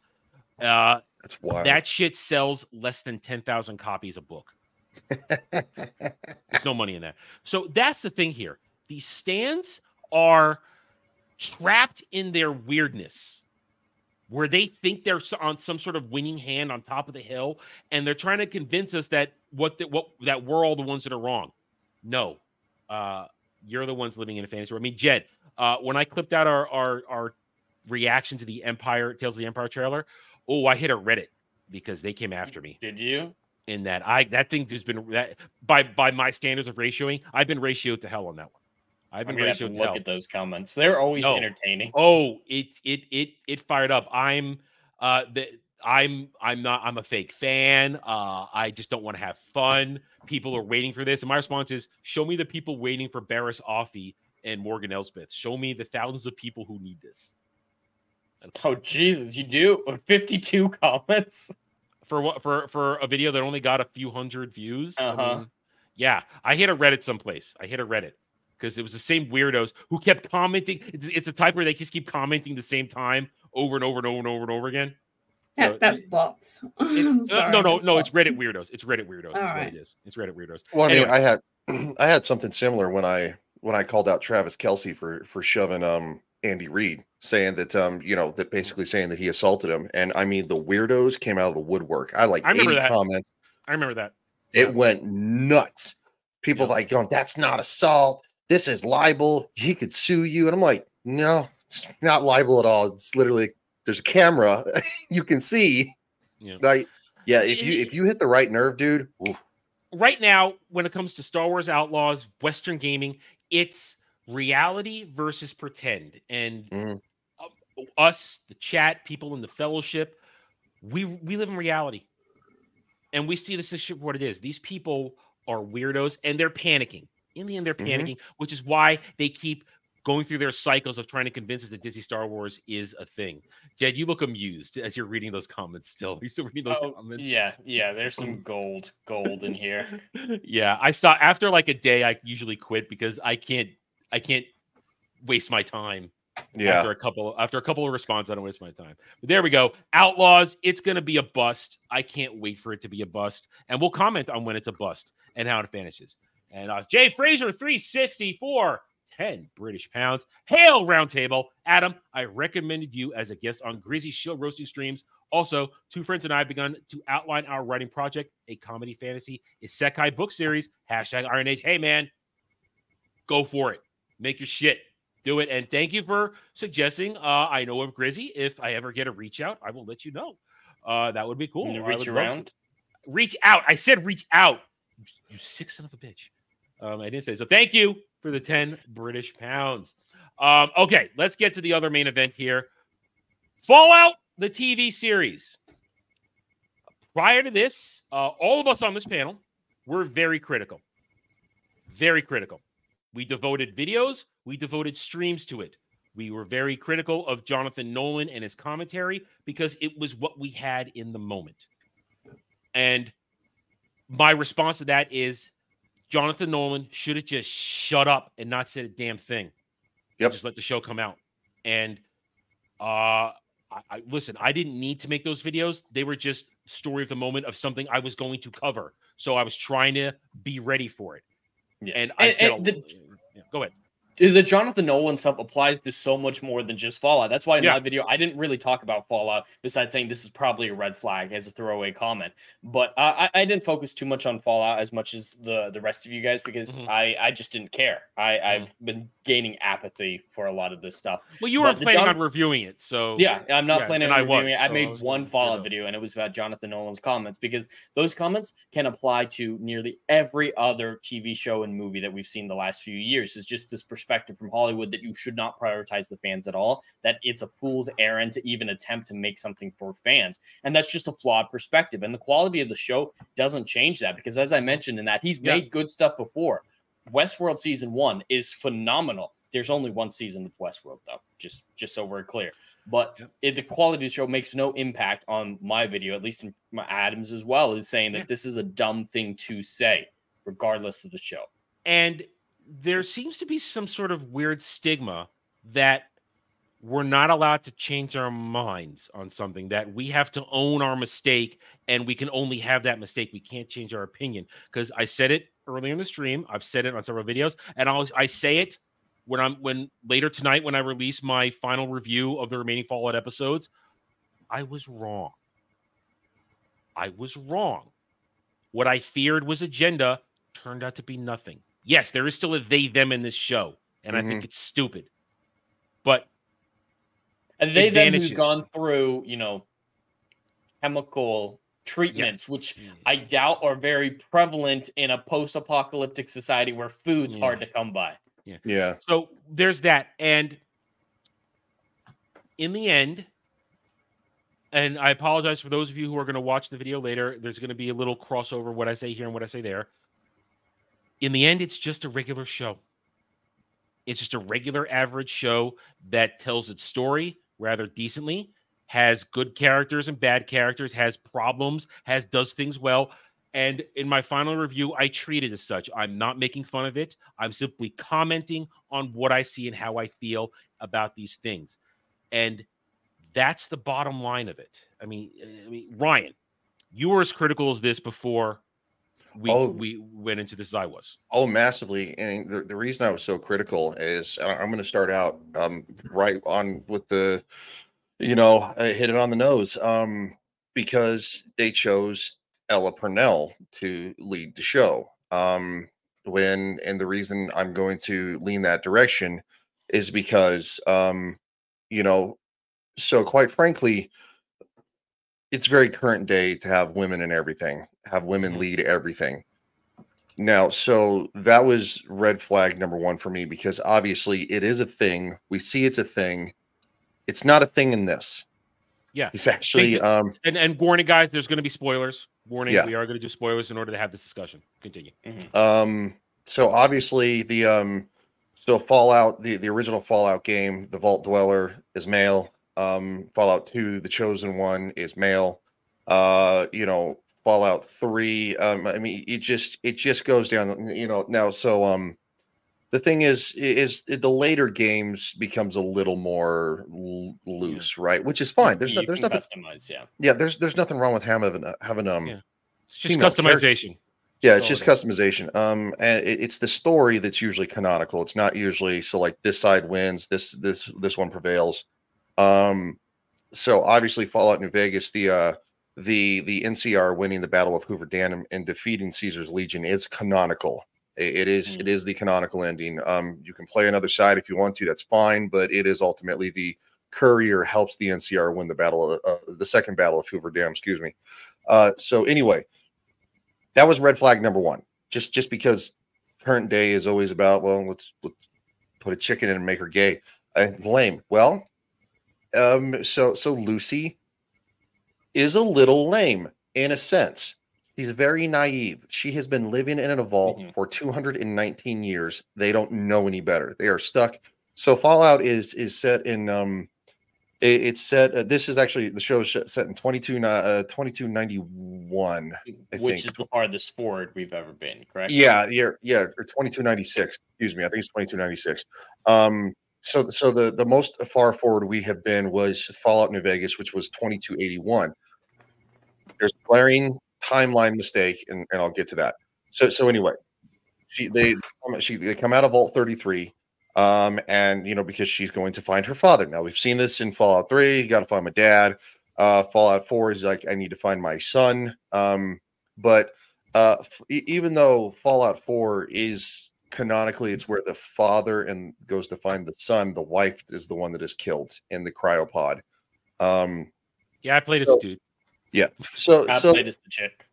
yeah um so it's it's it's pretty much it's a standard fallout story it's Yeah, if something happens you have to go fix it And- and and part of your red flag about worrying about Lucy being put out was dispelled in the first episode where she was shown to be competent and Mhm. years of practice and training, which was, I, and I said in my review, which I got roasted for. People who didn't actually really probably watch my review, I was mostly positive in that first review, but I got, I've been attacked because Mm-hmm. which is nonsensical. Every, yeah, I mean, here's the thing: I was trying to watch one episode at a time and give an individual episode a reaction without being influenced by the later episodes and to watch how it progresses and my opinion. And some people just see can't because it was batch dropped, and we're going to get to the batch drops conversation. Look at that. Mhm. Because it was batch dropped, some people cannot comprehend that I'm trying to watch it in isolation and talk about each episode in isolation. There, there seems to be a, a failure to understanding that that's how I wanted to review it. Mhm. And Mhm. if you just sit back knowing where it goes and seeing I'm probably going to change my mind, why not just sit back and see if I change my mind? Or actually watch my review. Don't say that I'm a miserable fuck and I just want everything to be terrible. Actually watch review and say that I where I with the exception of whole of Maximus, who even after eight episodes, I think Maximus sucks. Yeah, I Maximus don't like. Maximus. I don't Eh, like him see at all. i i um i there I, I had some issues with this character um i kind of felt like there was a little bit of the john boyega thing a bit uh also at the same time i actually i i think in my opinion the good outweighs the bad which but i i- definitely understand where you're coming from We'll come back to that in a second. Let me just say, Yeah. So, but in that in that first episode, I'm super positive about Lucy and her behavior. I was really happy uh, that uh, her, her- and her dad had a great, had a good dad relationship. I Mhm. really liked that. That we had a good dad thing, which in a moment we're going to talk about, which was taken away from me. Not as Ryan put in our discussion yesterday, in replace for to make the bad dad, but it was taken away from me for story purposes, and I think they could have done it better. Where some where some of my criticisms come into the writing and the narrative of the show. But we had a good dad, and then we had a possible bad Whammons, which turns out to be a good Whammons, and it, it I it like Mo- Moldaver. All right, Ryan, let me ask you this: Did they Mhm. mention her name at all in that first episode? Moldaver or whatever her Uh, name the, is. the the Raider chick. yeah, Yeah. Yeah, they did. They did. Okay, I just missed yeah, it. it was- I just missed it. Okay. Uh, the vault, uh, the vault fell. Okay, so let, let When me the vault fell- okay, yeah. let- I, let I me just add missed it then. I was quick because when I watched episode two, I'm like, wait a minute, when did we get her name? I don't remember let, hearing her name. let, let me add some context. Now, th- the vault set up by Vault-Tec, the vast majority, it it was only about, I, I believe, somewhere in the neighborhood of like 33% of them were meant to carry humanity into the future. The other 66% were set up as evil experiments to watch humanity destroy itself. Yeah. Or and so as that's the why. show, as the show puts it, they're there to be their own little personal society science projects Mhm. now. Yeah, pretty much. And and it's unbeknownst to the majority of the vault dwellers. Ma- Yeah. Many many of the vaults met probably the the most horrific tragic takes as was shown with Vault 32. Mhm. Um and so this this is very very very very spot on with the lore. The the vaults are horrible horrible horrible places. Mhm. Um they are designed to fail, the majority of them. They are designed to be a a social experiment so the actual vaults that survive going forward there is still a centralized government it is called the enclave and Vault-Tec was part of what the the us government going forward would be as well as um West-Tek which is which is a- another evil organization You see them all in episode eight. They're all listed. you, in the, you see all of them the the only one the only one that that, that stands out that it n- is not being an overly o- overtly evil man is mr house from RobCo Mhm. he is the one who actually saves new vegas in in the game you know he saves las vegas and turns it into new vegas now he's still not a he's still not a very moral man but he well, that isn't that the thing about Fallout. There's no real good people in Fallout. no It's- no it- usually This is the one franchise where morally gray is the right way to go Mhm. because it's just that's the world at this point. Yeah, you can't be morally pure in a world Mm-mm. like this. You wouldn't survive. and and lucy portrays that actually perfectly right and that's why she, she- works. it's it is why she works because she steps out of this into this this new world and everybody from the word jump street looks at her and goes you're gonna die. You, you're not gonna survive up here. Your ass is dead. Like going you you don't have what it takes. Like and and we see constantly her being Mhm. belittled and the fact that she is so naive of this this um, morality complex that was Mhm. taught. And so but the thing is she is competent because yes the vaults do um to give the residents things to do they do organize activities like um weapons training uh self-defense stuff like that um you know obviously so it, it there there were some good things that Vault-Tec did but it was so minuscule Mhm. Mhm. because the majority of vaults uh, uh, obviously 31 32 and 33 they're a trifecta Yeah. and all Was that the a thing in the games? Because that seems dumb. It was not a thing in the in, in the games no the Okay. the well, the, vault- show is trying to broaden the lore. That it, it looks like to Mhm. show that It Vault-Tec was more can- of a mastermind for everything. And Well, okay, Yeah, so the, the the thing is, is that there are overseers that are um basically their Vault-Tec plants meant to manipulate the system in their favor. So that is not something that's new. Um, Mhm. I actually kind of I was very odd about the fact that they had three vaults all attached to where they could just Mhm. open the doors after a certain amount of time. Um, because the the the vaults were meant to but then there's the reveal I- in episode eight. there- there's the reveal, yeah.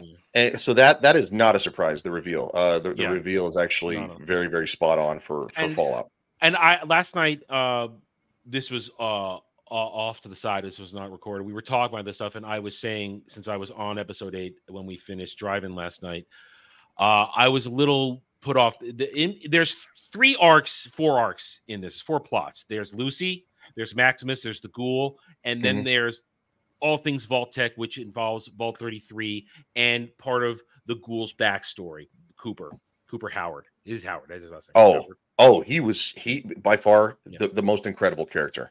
Oh, well, yeah, that and I'm gonna get to that. So you have all that stuff. So there's four arcs. Now, my biggest problem during the show was that, and Jed, if you ever finish it, you might uh, you might agree with me on I this. I don't think I'm going to finish it. I'm just too bored with it to care Well, beyond the two episodes. That's the thing. But here's the thing. Th- to me, I one of my criticisms of the show. Well, I, I, let me say it then. The show is okay. It's not the greatest thing in the world, It's a nice little watch. I recommend if you just want to have a nice little watch and and just veg out, watch it. You'll probably walk away. Okay, I had a little entertainment and I'm fine. Uh, but I didn't like sort of, sort, of the narrative pacing. I feel as though uh, the Vault-Tec storyline with thir- 31, 32, 33 with uh, Lucy's brother Norman discovering things, I feel like that either should have been an entire episode all its own, not spliced up the way it was, with only the big reveals coming together in the end. Same with Coop's backstory. I would have liked a single episode of just his backstory instead of it being peppered over three episodes because it broke the pacing of everything else that was going on. Even though they were trying to line it up narrative wise, of oh, we're learning this about this, we learned that Lucy's father, Hank, is one of the Vault-Tec people that were cryo frozen and brought forward, and this and that. At the same time, that there's Betty and all this stuff. I just,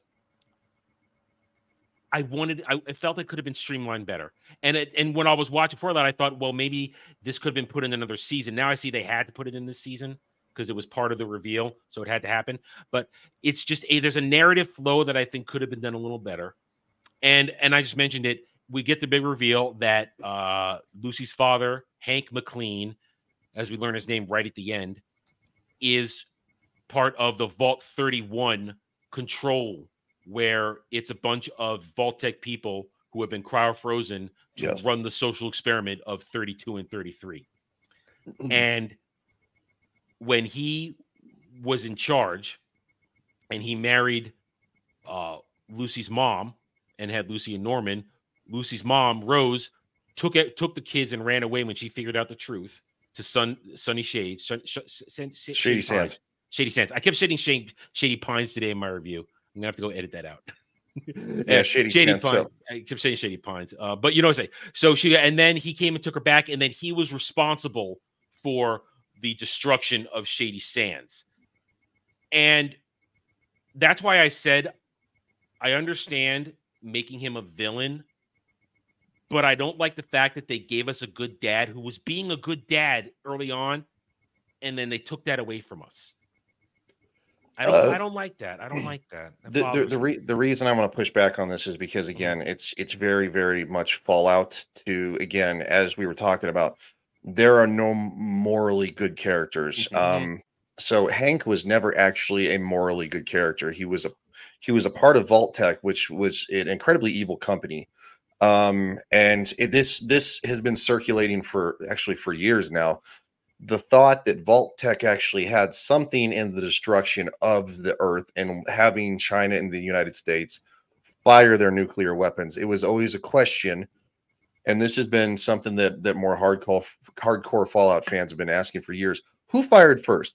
Did the United States nuke itself to get so then then so they could actually nuke China and then China nuke back? And it's like it's it's been this ongoing thing of like I I actually kind of think that that Bethesda actually finally listened to all the chatter about that, and they're like, "Well, we're going to get finally give you an answer because this has been going on since." The show says Vault-Tec triggered everything. is what it Yes, uh, Vault-Tec triggered everything because they were set to capitalize the most. Because again, somewhat similar to, to our, our modern WEF, they think they know a better way, and they're willing to destroy everything to get there. It's, it's so, and and not to kind of pull real world politics into it, but it it is kind of somewhat based in No. that. Um, so the, the the thing is, is that um, obviously even even a bad person can be a good dad, right? Because you know they say that when you have kids, it changes you. Um, let me counter real quick then. I mean, I understand what you're saying, and the whole and we agree, no one is going to be, you know, pure gold, pure in this in this thing. But I would have liked a little more actual nuance that he didn't want to do it, and that he didn't want to kill his wife. And when he says as soon as she left, she wasn't your mother anymore. Is I would have liked more a little. I would have liked a struggle for him because Mhm. it would have made it would have made him a better character. Kyle MacLachlan, fantastic performance. He's Kyle MacLachlan. He knows how to do this shit. He can go from I'm good and all gush sweet to I'm fucking crazy in, in it. Snap and snap a finger. It's great. Kyle Oh yeah, he's the best part of Agents of Shield early seasons. Yeah, you- I would actually. Uh, I'm I'm not going to argue that too much. I will nudge it a little back in the direction because. Okay, so there's there's there's a big moment in in in the show. It's it's it's what um it's usually what a Fallout is usually based off of. It's called the Big Hope moment. There, there is that one where Lucy, she's like, "Dad," and she and he just and he he inputs the code. And I'm going to get to that because there are people who um who I was a little upset to find out that Shady Sands was nuked. I, I was. Um, Mm-hmm. as somebody who is a massive, my favorite faction in in Fallout is the New California Republic. It is the it is the one carrying the legacy of the United States the most into the future. Arguably, the second would be probably the Minutemen from Fallout 4. They believe very much in the the the the lasting of the of the the you know the the United States, the the, the foundation of it. The reason the New California Republic is made more sense to be the ones is because it was suffering from some of the same bureaucratic issues that before the war or even the into in, in our modern government today so even though the new california republic they say in the show didn't work right um there there are lasting factions of the new california republic that's and it, that's how it ultimately got made like it became the ncr then as they expanded they absorbed more people and brought more people in to be citizens and stuff like that. And they provided protection. Again, kind of the same thing with what happened with Caesar's Legion. You know, Caesar's Legion was pushing back. It was the biggest faction resisting um, in Fallout New Vegas. So that big moment, the, the reason I say that the, the fans who are again who are probably saying, well, it destroyed everything from Fallout 1, Fallout 2, and Fallout New Vegas, and they're trying to retcon things. My big issue is the date, 2077 they say the fall of Shady Sands. Um, that was four years before Fallout New Vegas, the second battle of Hoover Dam. I, it's a massive flaw. It's a massive fudge. Um, so, um, well, third, I mean, you know, you're entitled to your opinion, but uh, again, also at the same Different time, he- debate, he's not a hundred. debate.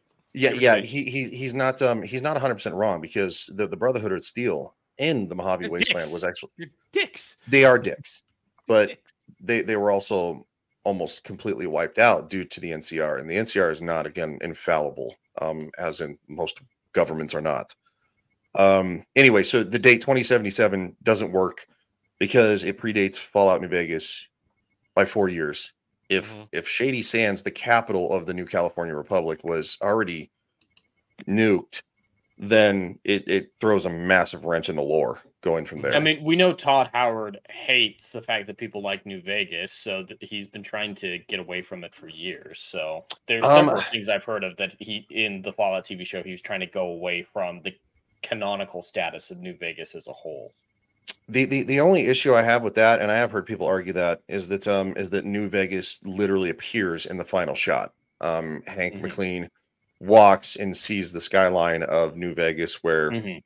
and there's there's so many references to um you know we get we get the two the two scavengers they're wearing NCR power armor. Mhm. Um, I'm Well, sorry, not power not- armor, not- Ranger armor. Not decanonizing the existence of the city, but the story of the Re- that retconning. game. We're- we're talking retconning retconning. the game, retconning the story rather like just the fact that New, New Vegas exists in a similar design isn't what I think anyone was arguing uh, with Todd Howard. But Todd Howard's made it very clear he hates that that's the story that people latch onto, and so Well, it But- is. It, it honestly is probably one of um probably might be the most popular Fallout game. Now, It here- here's absolutely the It's thing. made though. by Obsidian too. So here's the thing you talk about these these timeline issues and i know from watching the discourse that that is a reason that some people are vehemently angry at this show i mean they are rabidly angry from some commentary Oh, it, it it really bothers me too because Yeah. it, it it throws a big wrench in everything. Um I don't know if I would say it was malicious. I don't think I agree with them. I think they're I'll look, I'll say this. Uh, Fallout fans are um are kind of like Tolkien fans. They're um they're they're Mhm. very very passionate about things. yeah Um I don't know if it was nece- necessarily malicious or whether or not it was just a massive oversight because um there are so many references to what happened in Fallout New Vegas going forward because the show takes place after New Vegas by about 14 years. 15 years? 15 years. Um I I think it's a um, I think it's a massive screw up and they're going to have to fix it. And if they don't fix it, that's going Well, to piss a lot of. It's going to. let's get back. Yeah, let's sorry. get back to. Well, no, no, it's fine. No, well, you're you're bringing the lore, so we, people understand where this comes from, and, and and that's what I want to talk about as we get into this more. The show does a lot of things right, and which is why we're all surprised.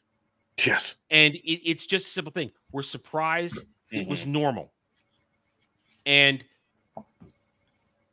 the criticisms I have are normal criticisms: acting, pacing, writing, uh, inconsistencies. And I was talking about this with the guys before we got started. There's to me a massive inconsistency, and to me it's lazy writing in episode two, and then in episode eight. In episode two, if you guys know, uh, the battle in, in Philly between uh, Maximus and the Ghoul. The Ghoul is fully armed. He has the advantage. Maximus mm-hmm. is a goon in his powered armor. He barely knows how to use it. My, And my it's a weird fight. is It's a weird he's fight. like he's like you drive that thing like a shopping cart or something yeah. like that. And, and, like, oh and- my and- and he's play and he, and he beats him. But yet now in the final battle at the in episode eight, where the Brotherhood of Steel is attacking the remains of the NCR, and Moldaver is launching attack, the Ghoul infiltrates the battle easily, and he shows up as four Brotherhood powered armors and a bunch of squires are about to assault the control room where the uh, cold fusion is being reacted. He makes a joke. Now, this is again winding into some of the backlore stuff where he talks about in the backstory. Coop says, "Yeah, I was in those powered armors. They had defects, and let's and it killed a lot of people. Died. And now here he says, "Gee, when I was in those armors, they had a lot of defects. Let's see if they fixed it. A little part right under the chest plate." And he proceeds to ace all four powered armors in seconds, taking advantage of this defect, Mhm. which he already knew about. which he would know about. which had been prominent in the very first the very first power armor that ever existed, the T forty five. And it, what and he mentions that in the backstory. And Yes. so I just I so to me when he fights when he all out fights Maximus in episode two in Philly, that's a straight up fight, and he's not trying to save Maximus. The ghoul hates He doesn't know everybody who in it the show. is. Yeah, Yeah. and the, Yeah. the- with, with the exception of now at the end of the show, his interest in Lucy because of her connection, to everything that's going on, he equally hates everybody in the wasteland. Why didn't he ace Maximus using the defect in episode two when he had all his weapons? And It's plot armor. Plain it's plot simple. armor. So It, it is and- hundred percent. Yep. so to me, I will criticize the show for lazy writing like that, just so we could have a cool moment in episode eight and have him take out four four powered armors in seconds, and and then learn that, and then when he confronts Hank in the powered armor, now he doesn't shoot, doesn't kill Hank in the powered armor on purpose because he wants to use him as bait to find his family. We learn at the end he's clearly hunting his wife. He's Mhm. hunting his wife for 200 years because, as we know from the backstory, she is all in evil. She was not a saving grace, and she likely was cryo frozen along with the rest of the head honchos of uh, of Vault-Tec. Al- Also, shout out they made a black lady evil. Oof. Yeah, well, well listen, uh, the show did going things right. against- with There, there is a lot of a lot of violence is visited upon women by men in this. And They Mhm. don't shy away from it. It listen, the the the uh gratuitous violence in this movie, a show, good, it's fine. Sp- spot on. Spot on to the games, by the way. Yeah. Exploding heads, exploding limbs, legs. Punch, I- boom, bang, oh. Yeah, they didn't it. shy away from it. Uh, and these are these are like to me, this is regular criticism I'm having. I'm not Mhm. making fun of the show. I'm just saying tighter narrative in some places. Don't be inconsistent. Uh, the, uh, as I said before, uh, and we can now talk about this. To me, Maximus is the weakest part of the show because one, the actor is not very good. He has one emote. I'm I look like I'm about to cry and piss my pants. That's all he can do. And how old is he? He's the most 50 year old looking 30 year old I've ever seen. Oh, is he really 50? no, he's 33, He's but he looks like he's 50. But and now, now, uh, Jed is up to one point. So Ryan, this is to you. Uh, I feel like Maximus, there could have been a better story about his development. Instead of every time he tries to do something right, it's turned comedic and over the top. Like when he tries to save Lucy in Vault Four. he Mhm. fi- finally, it's like, oh, finally, you got up off your ass to do something. Instead of saying, "Can we have sex now?" Instead of doing that, uh, can we let, let's do a thing? But then it turns into comedy because he didn't have to do it, and there's no Yeah. repercussions. Um. from it. Okay. So I'm I'm going to I'm going to allow. Uh, okay. So Fallout is is weird. It's it's a very weird franchise. It is um it is very serious, very grotesque, very shocking in a lot of ways, but also at the same time, Funny. it's very over the top campy. Um, because so the the split of of when the bombs dropped in 2077, it's kind of like the 1950s on steroids. Everything is uh, it's it's like time was frozen in the 1950s, um, and it just progressed past what our our, our normal culture is. They did, you know, like going to the TVs looked like the 1950s. They're called Radiation Kings, stuff like that. So it's it's it's super campy and over the top in many ways, but at the same time, it has some of the most grotesque, awful things. Is is when we went through Vault 32 and saw what the reality of the they when were they based discovered what was going on, they just aced, they just they took themselves Yeah. out.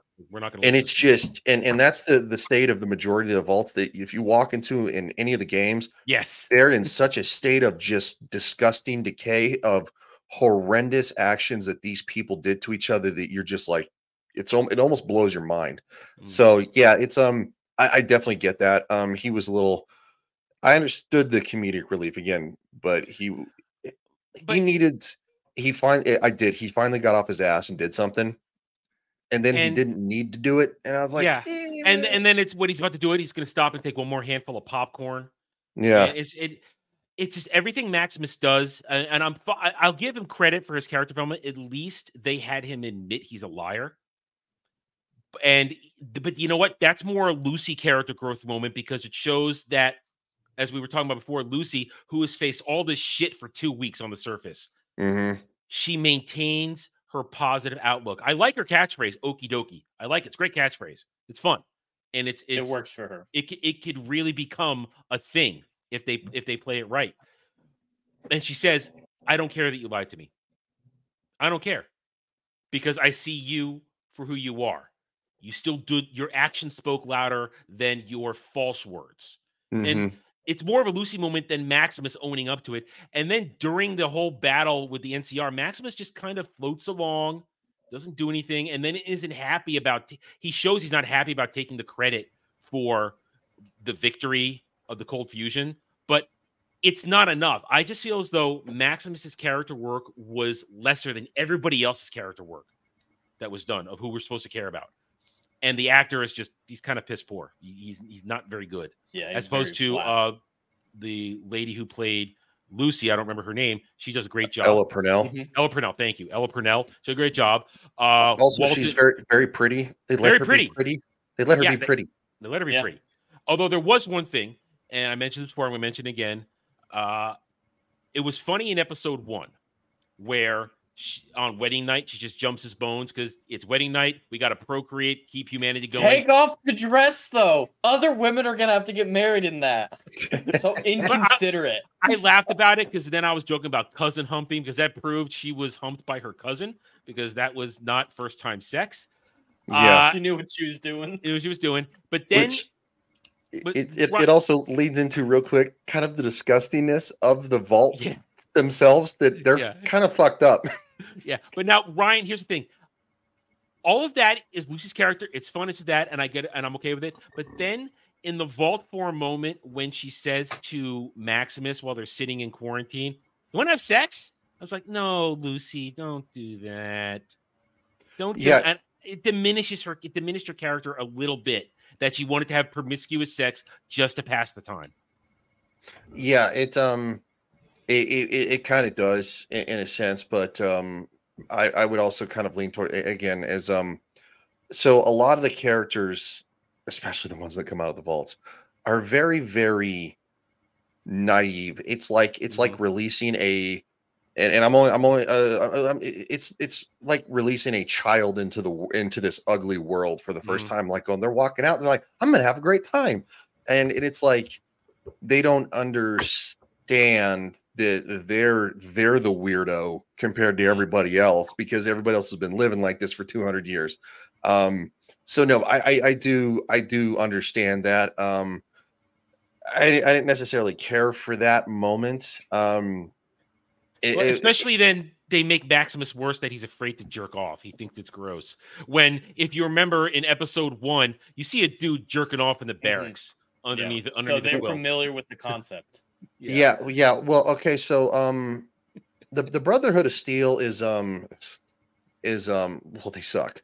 Yeah, they do. They Okay, so um the, the Brotherhood of Steel is more like um Elder Maxon's Brotherhood of Steel uh in Fallout 4. Very, very rigid, very, very, very paramilitaristic, um, to the point of if you don't do your duty, you will be killed. And and and that's that's the way it is. This is this is a more realistic Brotherhood of Steel than the one we get in Fallout 3, which is Elder Lyons' Brotherhood of Steel, which actually had more of a moral compass.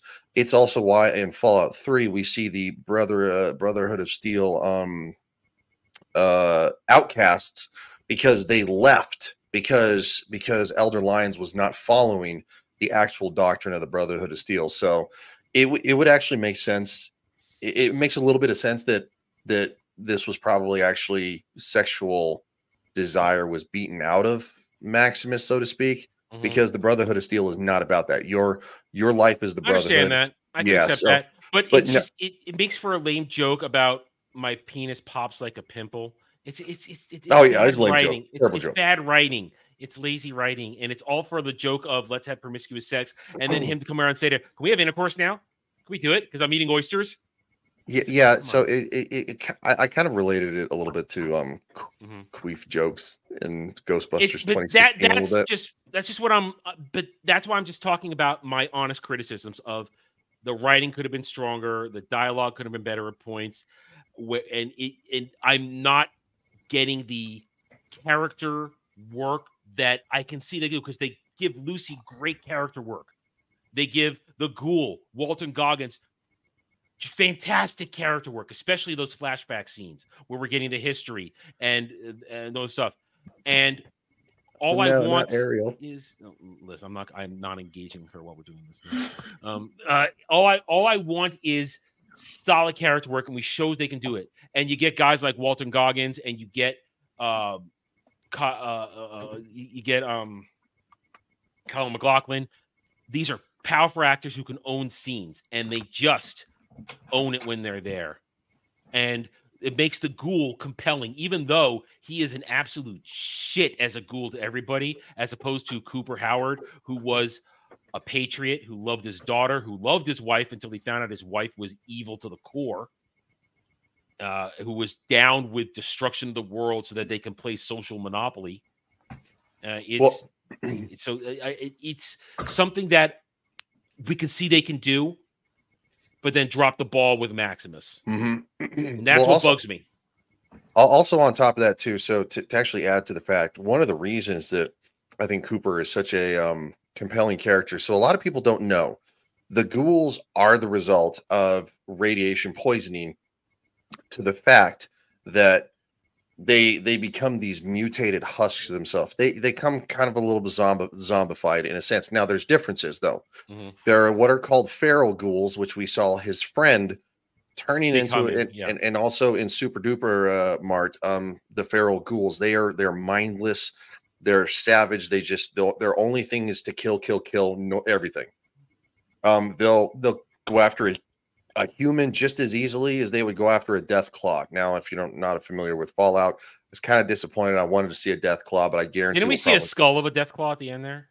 Uh, you don't. Was that- yes. I thought we saw the claw of a death's claw at the beginning of uh, episode two in the dude's lab when we were seeing uh, dog meat being raised. There was a sheet over a body and a claw hanging out that looked like a death claw's claw. If if so, I did definitely missed that. Um. Uh. So now, But I, that's I what I was hoping the bear was in episode two. It's like, oh, please be. Yeah, I was a claw. little yes, because- disappointed that it was just a mutant bear. Well, it's called a disappointing. Yao guai. Um, Yeah. i- i- is is what they are. They're they're they're giant mutated grizzly bears. Um, so um, yeah. So the the Yao guai was was it was awesome to see. My problem was is that he shot it in the head once and it died. It's Yeah, so that was- unrealistic. It was so dumb. It's so unrealistic. That, whole bit was dumb, especially with uh, Yeah. Titus or whatever. Yeah. And then and then what's his name is, is under um, like, Mi- oh, Michael, God. what, Michael Ra- uh, Rappaport. Ra- Rappaport. Rappaport, Thank you. Yeah. Yeah. Um, He's well, such a dumbass. Like he, he is a dumbass, killed and that's why I'm himself. that's why I'm glad he died because it, it kind of um encompasses real life personality a little bit that he sucks. So Mm. um but yeah. So anyway, the Yao guai, I would have been when when he shot it once and killed it. I and even in the head because the the Yao guai's skull is modified so much. You would actually have to fire probably ten rounds in the row at the same point to actually finally have one or two penetrated skull. That's how mutated these bears are. Um, they're incredibly hard to kill. The only thing probably harder to kill is probably a death claw Mhm. And that's where I was kind of I was kind of leaning it was going to be a death claw because death claws um are famous for making their caves in in where radiation barrels are um that the the US government again in the past just decided to tuck away in a in a hole and leave them.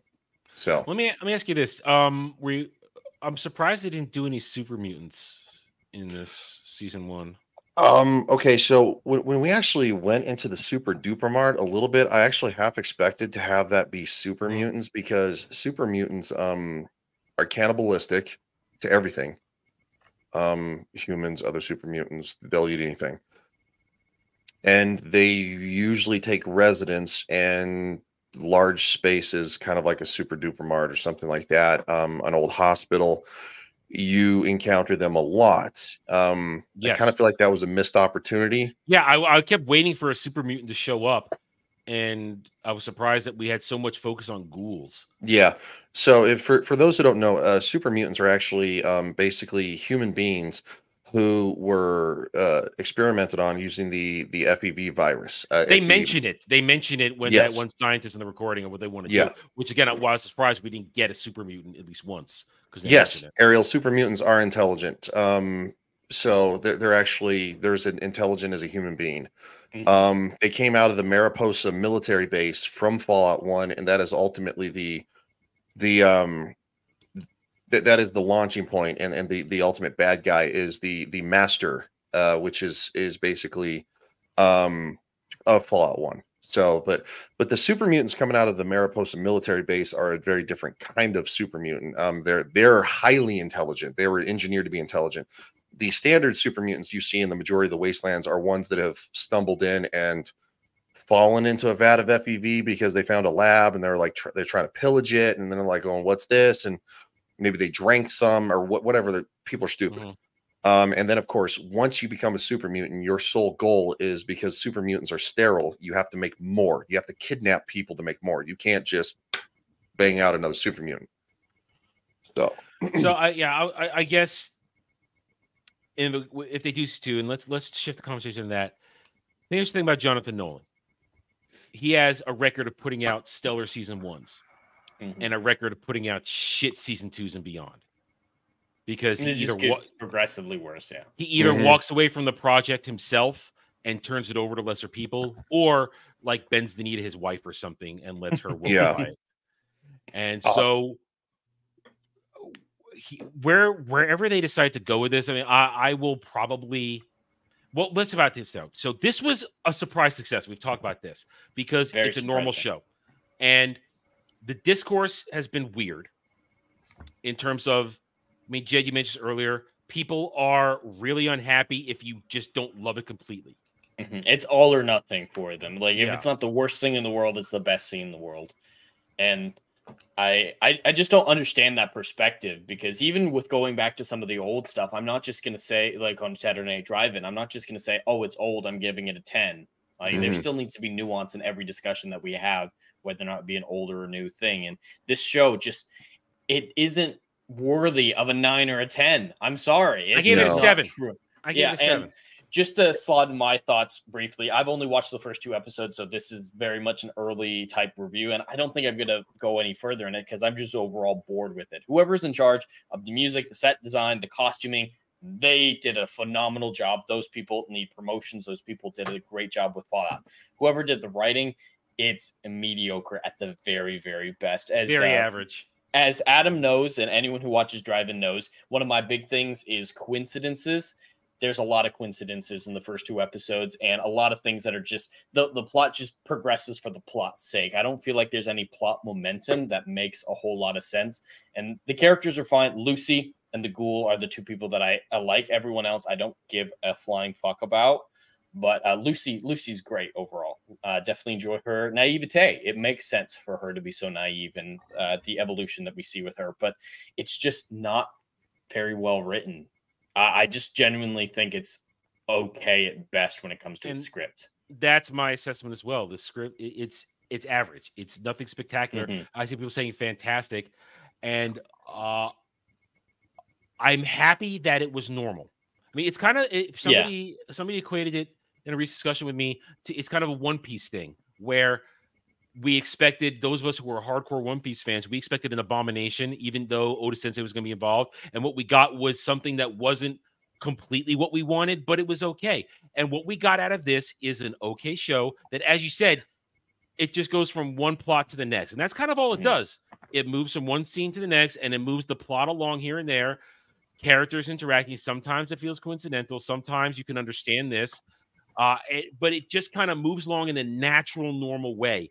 And I I think we should praise it for being normal and not super engineered.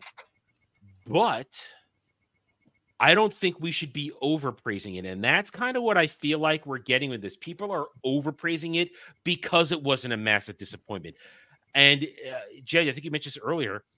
The bar is so low Mhm. on everything that we watch and have to deal with. I mean, I am now this week. Uh, we get uh, Zack Snyder's Rebel Moon Part Two. I hope it fails. Well, I I already have my. I've told you guys what my title Mhm. card is going to be. I'm not going to spoil it for the fan for for for the for everybody in the uh, Mhm. in the audience here. But uh, we got that. We are now then also a couple of short weeks away, three weeks away from Doctor Who season one with Ncuti Gatwa as Ncuti Gatwa. Jeremy and I are going to be covering that. Uh, we got we are now we're a month and a half away from the acolyte. If y'all want a third, Right. I'll I'll wait in. You could you could you can jump in whenever you want. We're we're we're going to be streaming it on Saturday nights. bad. We're going to be streaming it on Saturday nights, so um people can come and go if they want. You guys want to come and go? Yeah, yeah, That's no, I'm I'm. I'm, I'm in. I Yeah. I can't bring myself to watch it yet. I I need Your audience might bully you into it though. They might, but They I might. I They just can't do it anymore. Yeah. Every, So, I mean- every video you put out, I'm gonna be I'm gonna be in the chat and I'll be like going, Jed needs to watch. Yeah, I mean, Jeremy and I, we've worked this out since they're releasing it on Friday nights, and we can't fit it in for Ballbusters. We're gonna Yeah. live, we're gonna live stream review it on Saturday nights after driving. So that's what we're gonna be doing.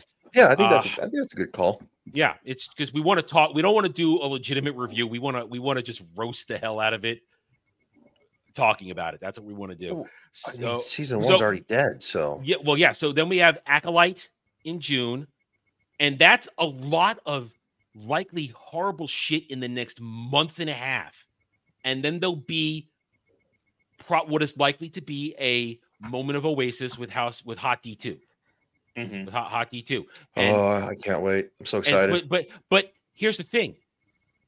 The bar is so low, and Hot D two may be worthy of the praise it's likely going to get because it's earned it with a season one. But anything that comes out is just if it's if it's an average show like this, it looks like and looks and tastes and smells like ambrosia compared to what Acolyte, the Disney Star Wars, Rings of Mhm. Power, Yeah. all the shit. And I think people are so desensitized. Maybe I'm using that wrong. Or maybe they're hypersensitive to shit being so bad. I And would when s- yeah, go with that. With something is just okay, it feels like it's the greatest thing in the world Yeah. because it just did what a regular show from 10 years ago used to do just mm. hit the marks of okay here's good characters here's a plot that's going to move along without any crazy inconsistencies Yeah, here's and an it's- it's- intriguing world. it's it's a world that you can that you that you stuff it, it's got source material that you can go play around with that you can go play and enjoy yourself and with decent acting halfway decent writing in this case you get that kind of thing and suddenly comparatively you think it's the most brilliant thing ever, but it's just this would have been an average show 10 years ago and it being the normal show that it is i i pose the question now why did amazon batch drop this It's moronic. It, it was massively moronic. I have a massive problem with that. Um, the binge model is fun right? When when mm-hmm. you're obsessed with something, you wanna you just you want it all you can get. You're gluttonous. It lends to basically some of the problems with our actual country because people want want it. They want it now.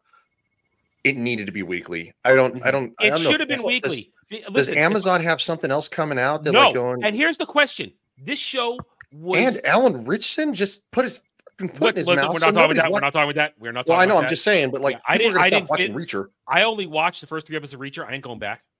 I'm not. I don't care. No, I'm done. there's a lot of also, people who are not going back now. Also, yeah. I mean, also, also because um, Serinda Swan didn't take her top off, so that was the one sex scene probably. So I didn't. I, I- I have nothing to look forward to anyway. No. Uh, but no. So I'm not. I don't care about Reacher. I don't care. I, I'm even questionable about seeing the un the ungentlemanly movie with he's in with um with Cavill With Henry coming out. Cavill, yeah, the League of I was excited for that. Warfare. Now I'm gonna probably wait. It's not gonna get my money because I don't want to. I don't want to support Alan Ritchson for being crazy. But that's a different discussion, different thing. Well, and after our guy failed, I'm not gonna watch it just because Henry Cavill's in it. Yeah, yeah. But what we have here is a situation. This should have been weekly, Mhm. and this is a show that, for all intents and purposes, is a decent show. Well, and it's not Yet- a Netflix. Let me let me finish the point. No, my point. Yet, with a show like Wheel of Time, Waste of Prime, Wheel of Prime, whatever fucking joke I usually make of that, that show was horrendous.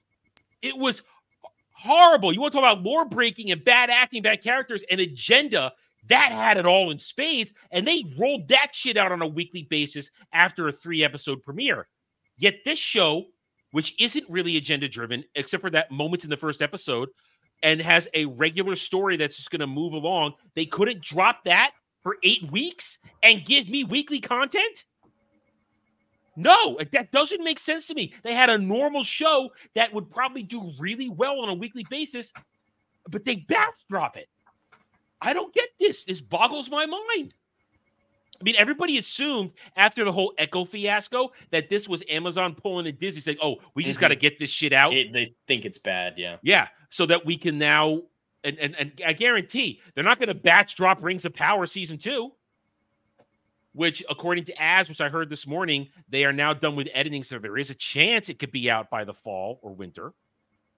Oh, I hope it's Mortal hot Country. Country. same coming up against each other, just like they did. I don't think time. so. I don't think they get it out by the summer at this point. Doesn't sound like they will. If it just finishes editing, I don't know. So, But I want mm-hmm. Mortal Country.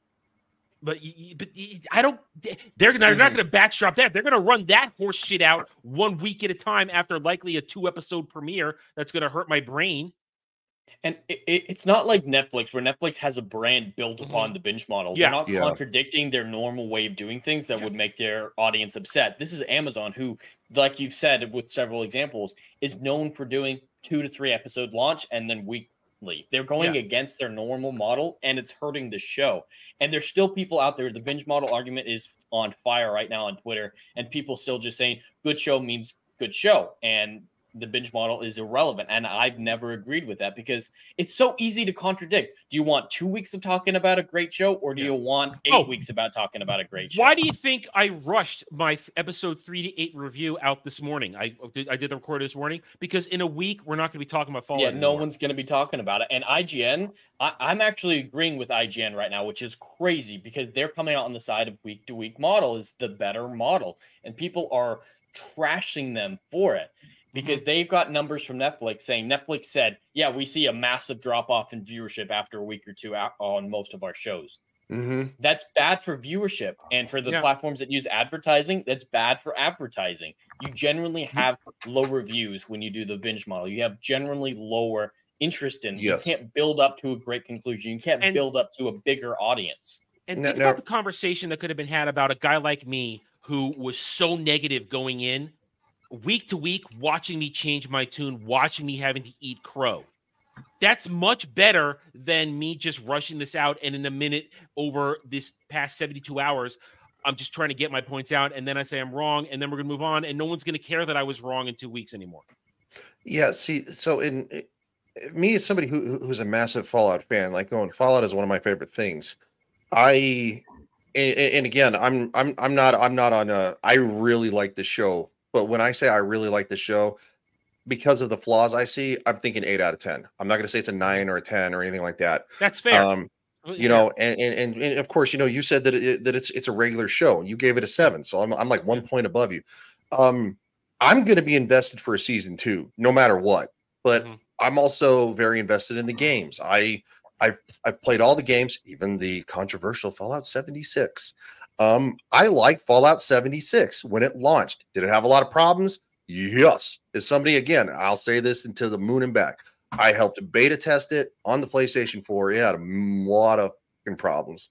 Mhm. That being said, it is a much better game. They have they have they have changed so many things. If you've tried it once, I say go try it again. Um, but yes, so I will always be in the camp of I want season two. Now there there is something to be said that they that they they've seen a 200% increase on Steam for people downloading Fallout content, the Fallout video games now because people are That's very awesome. intrigued. People want to play That's- it. I mean, people we wanna play it. People Yes. in our, in our immediate circle are firing Yeah. it up to play shit right now. Yeah, exactly. So that is that is a very very positive thing. That being said, though, weekly, and I agree with Jay Frazier. We and, and all- everybody here, weekly would have been ten times better than the binge. Here's the thing. From a content creator's perspective, I like weekly. From a consumer perspective, a customer, I like binge, but you know what? I make my own binge. I wait. Everybody knows uh, me and my anime taste, the way I do things now. I wait three months Mhm. so that the entire seasons of an anime are done so that I can just watch it all at once. And that that and I'm waiting because I'm not reviewing anime. I'm that's for my personal enjoyment, and I can then just wait for it. I have been marathoning things my whole life. I mean, we you last night, you guys can know this. We watch uh, watch drive when Josh driving. We went on a, a massive NCIS rabbit hole talk. Before and after the end of the show. Yeah, there were times uh, in the latter year, in in the last decade, at end of seasons of NCIS, I would wait four weeks. I would let the final four episodes of every season pile up because I wanted to watch whatever the concluding story was in one push. Mhm. But that's my choice. And Yes. and, it, and it, it was done out of my my thing, and I- I'm not forcing that my way to watching anybody. And the binge model right now, it's forcing everybody to watch it in a certain way, and it's also, as I said a while ago, creating a very weird perception of you need to watch all of it now before you can give your take. You can't give an individual take on every episode. You need to watch it all, and I, that is it's a weird thing.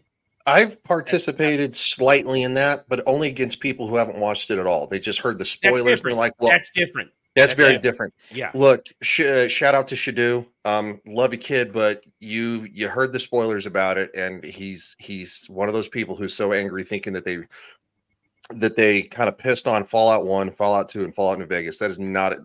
In, Yeah. in the the big hope moment I talked about, there's only one flag flying while the hopeful music plays. One flag, and it's my favorite faction. Yeah. Again, and and and what um I actually don't disagree with what Third Eye said. The the NCR was massively flawed and it had a lot of problems. It was on it was on the decline in Fallout New Vegas. It kind of lends credence to the fact that like the fact that Shady Sands unfortunately was wiped out, a big canonical beloved place from Fallout 1 to Fallout New Vegas that um it it maybe needed a little bit of a reset and now the NCR can build build up and be better than it was before with what had happened with the, the cold fusion. But that being said, anyway, um you're you're talking about an inherent problem on of things. People either hear spoilers mhm. and they want to give their commentary, and that's not how you want to deal with the stuff. I mean, in my case, I was simply watching the episode show one episode at a time. I would take a day at a time because I I started off long form review with the first episode, but then I realized when I watched episode two and realized, oh, they're just kind of it's a regular show and it's doing regular stuff. I don't have much to talk about here. I can knock this out in literally instead of 35 minutes, I can do it in 12 minutes. And I did it. One take, boom, we're done. And then the rest of it, okay, watching it uh, over yesterday, it literally just moves along. So I don't have much to say except for natural criticisms that then I can only give once I've completed the show, talking about writing, pacing, narrative, acting, uh, inconsistencies, lazy writing, that kind of stuff. Then, but if you're coming to my channel and people who come to my channel know that I want to review episodes one at a time. I try not to do a batch review because it I want to talk about something, especially if it's something that deserves to be talked about, or in many cases, with the current content of today, ridiculed heavily. hmm But this was a case of why are you yelling at me because I had to take on the first episode and I haven't watched the rest of it? Why are you yelling at me about this? Why don't you just wait for me to finish it? Because Yeah. obviously, I, I anybody who knows me as I review stuff, I, I I can be objective when I want to, instead of just being subjectively and making fun of it. And I try to give fair takes. That's why people have asked me to do Hot D season two because I'm going to give a really objective review because I don't care about the franchise. I'm not into germ stuff, but I'm going to watch it because it might be good. And then I'll be able to tell you, I'll be able to tell you without any sort of fanboy goggles on or anything. You'll say, okay, this worked for me, this didn't work for me. Then that it's that it's it's gonna it's a strange circumstance that we're gonna get with me in that case. And I, I it's the problem that I mentioned this earlier, talking about the stands and their push for positivity, conversations only. It's our version of it. If something isn't bad, but you're not universally in love with it, our own side is kind of going to go over the top and say, "Well, no, no, no, you can't talk bad about this. It was good. You don't get, you can't criticize it. No, because then you might not get more of the good stuff." It's the pendulum argument. Mhm. You don't have to be super positive about everything. We can have legitimate discussions over debates. And now, when something's swinging back, let us not become that which we have criticized by going too far and not allowing conversation that should be legitimate. Yeah, no, I I completely agree with that because I actually kind of feel like a little bit of the opposite. I didn't hate the new Ghostbusters. I didn't. I had fun. My my I dad and I went and saw it, and I enjoyed it. I didn't watch it because I don't care. And and no, and, and that's perfectly fine. I have no issue with that. What what what I what I had an issue with is I unfortunately saw people on our side taking things from the movie that I'm like, I, I you're either you're you're either ramped up because you've been doing this for too long, or and I think that's what it is. I'm not gonna I'm not gonna call anybody disingenuous on our side. I I- think that that would be very it's the ill- hypersensitivity argument. The I hypersensitivity argument. It's the same yeah. thing that I dealt with talking about Final Fantasy VII Remake and Rebirth for people And- and it- who are so who were so angry that it wasn't one for one, and they're so worried about all these things that they're so hypersensitive that any little change sets them off. When in the case of Remake and Rebirth, they were never meant to be one for ones, and if you are denying yourself that, they are excellent games with a lot of fun that shows respect to the characters and the story overall. hmm And, and again, and look, I'm I'm just as guilty of, of hyper uh, of hypersensitivity because Mhm. I had going into this and and and the dropping it all as one. And Adam, I know because I because I talked to you about this. I put it in the actual chat. I was like, this doesn't bode well. This does not look good. It's as bad as I think it is. And I was so wrong. I was very wrong. But here's the thing: as adults, and in this case, Dragon Lady notwithstanding, as men, we can admit we're wrong, Mhm. and there's nothing, there's no weakness in that. There's no weakness in saying, "Wow, I had a complete misconception." When the facts and the logic and the evidence are put before me, if I can say, okay, I was wrong, this is not what I thought it was, it ain't perfect. I'm going to give regular criticism now, not hyperbolic, over the top, blah, blah, blah stuff where we where we rip shit apart, roasting. When I do that, that should I should be allowed to have a change of opinion and admit I'm wrong without people telling me you can't not admit you're wrong, which is what I feel is going on in some cases. Mhm. With fall as an example around, some people I feel are saying, if you were harsh on this before, oh, that didn't age well. I hate, I, you know, I'm, I'm sick of that phrase. That didn't age well. I'm sick and Yeah. tired of it. It's one of these things that's been that's been beat to death. Because guess what?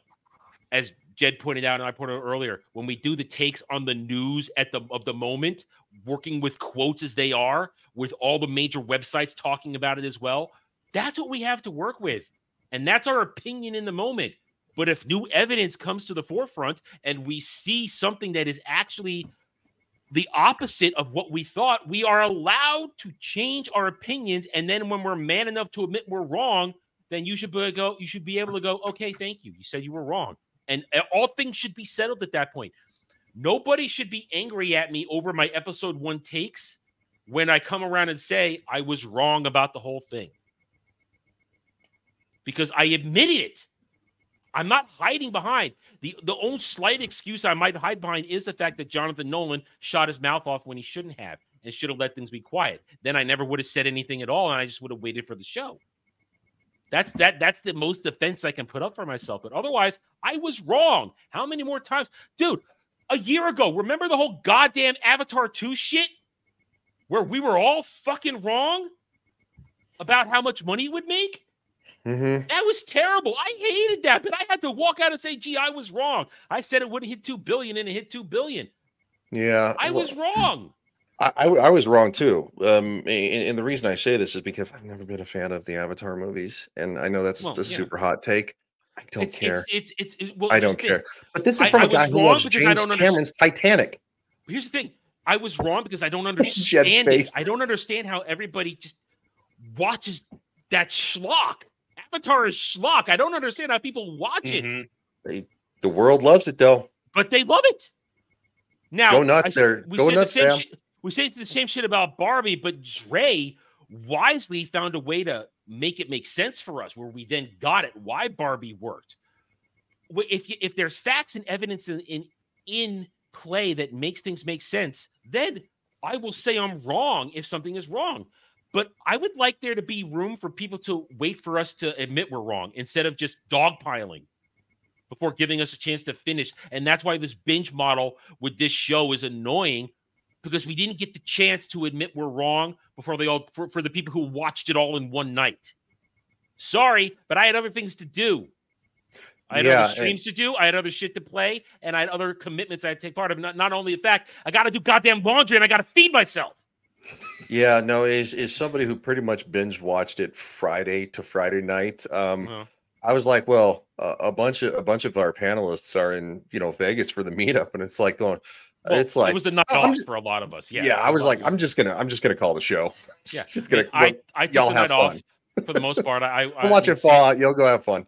I watched the first episode on Thursday to get it out there. I mean, I could have binge watched it, but I had other things to do. And then I was invited to go on another stream on Friday night to do something si- since I Mm. wasn't on Ballbusters. So I had other commitments, other things to do. And uh, to be to to be attacked for not watching it all at once and not being able to give full opinion, it's unreasonable. And it's coming from Mm-hmm. our side is the problem. It's not coming from, I mean, there were some weirdos in there. There were some. And I see some of them on who, and I see some of them who are on X Twitter who are the weirdos and they love it too. But the, it's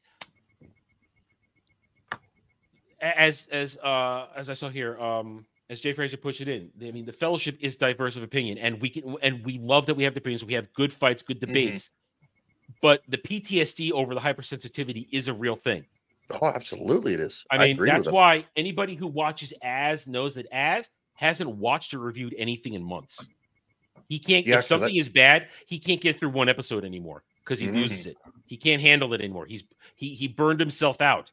Now me, I've got a weird thing where I I I can watch horrible shit, and as soon as I'm and as soon as I'm done with it, I can get rid of it and move on to the next one. Also, Yeah. I'm also not a 370,000 channel that has its built-in audience. I'm I have to do this shit. I have to watch. shit. Well, I yeah, because what on Ash audience. just celebrated his 11th year 12. on YouTube. 12. 12? Mhm. Okay. It's he's been on for a while. Yeah, yeah, when it's stuff that bad, time. like what what Him and Az Gary normally both. does. Mhm. Go ahead, Jed. Both been.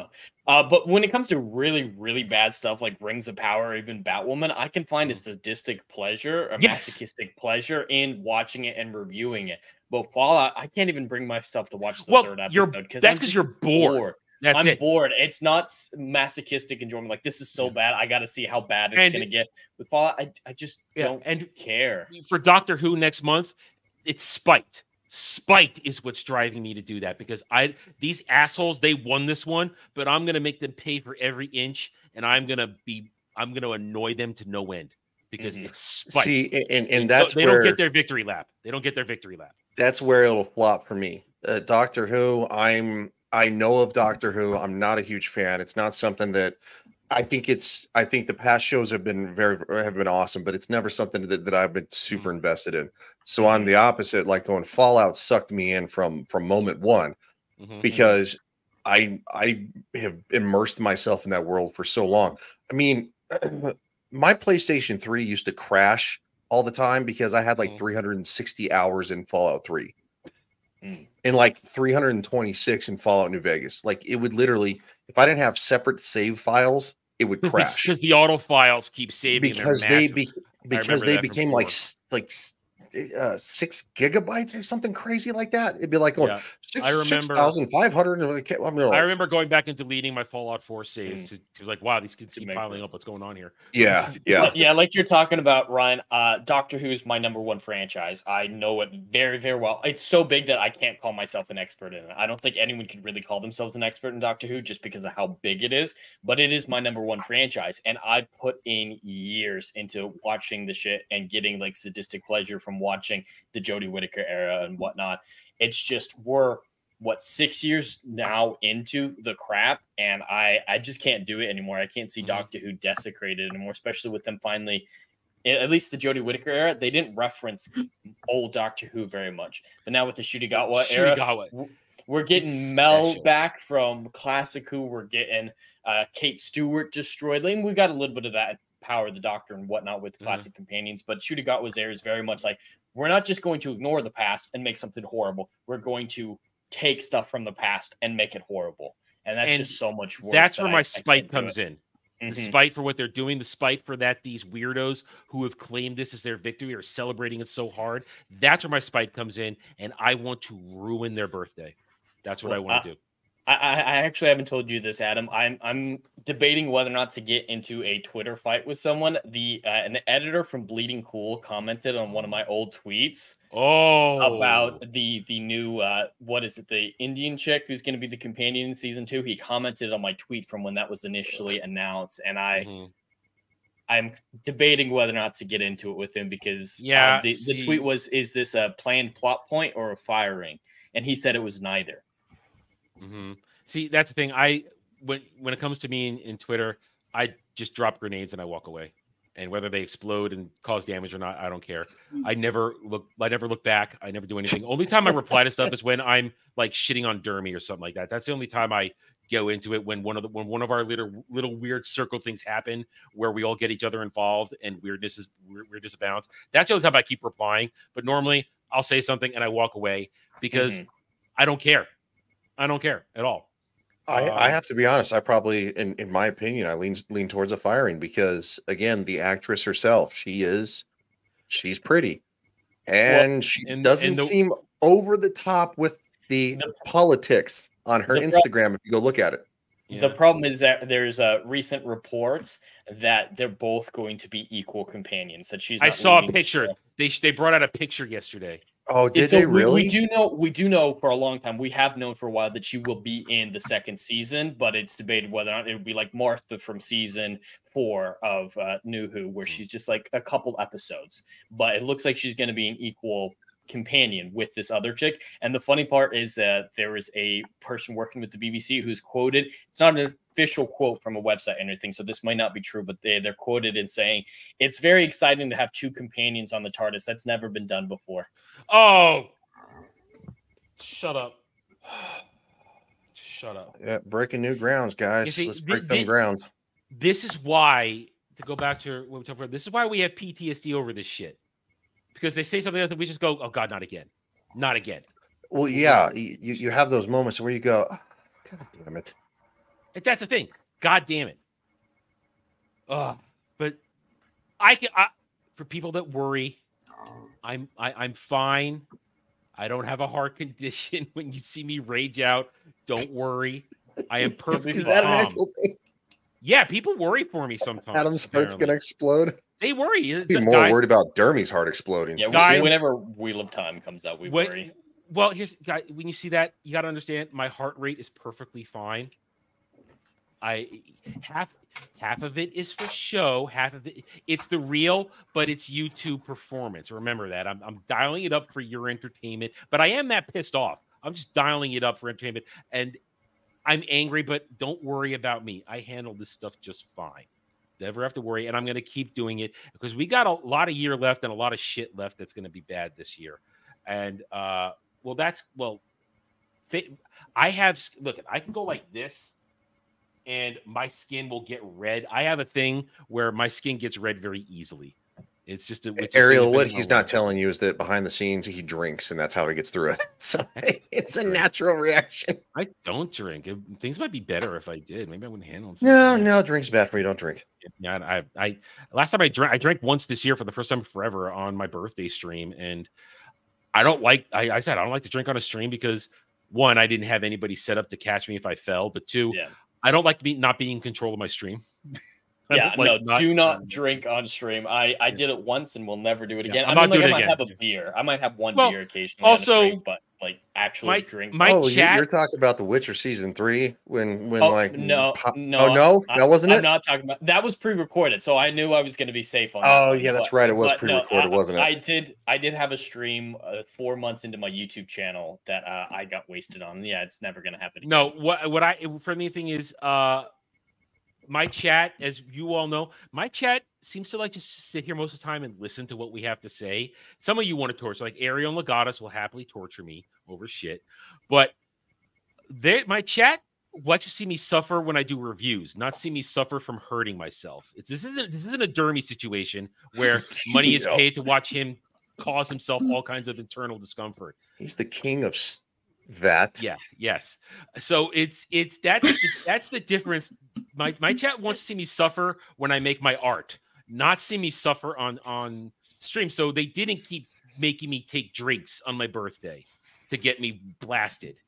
And uh so it's not a thing over here. So I'm not going to do it. And also, I don't like not being in control of my stream because let's be honest, most of the times the streams on this channel, they're meant for discussions. We're meant to be having in-depth discussions and I want to be able to hold a thought in my head, not worrying if I'm doing a different kind of babbling than I normally do.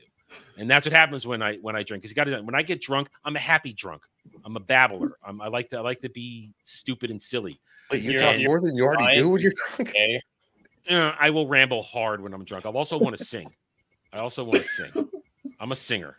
Back in the day, I was at least. Granted, we were singing Metallica, but that was different. Um, anyway, Also, just for the record, I still have not forgiven Jed for the Witcher season three pre-record. Both No. of them. well, yeah, well, of course, Anna, you guys did super chat me, but you didn't super chat me to make me suffer. You just said, "Here, take a drink."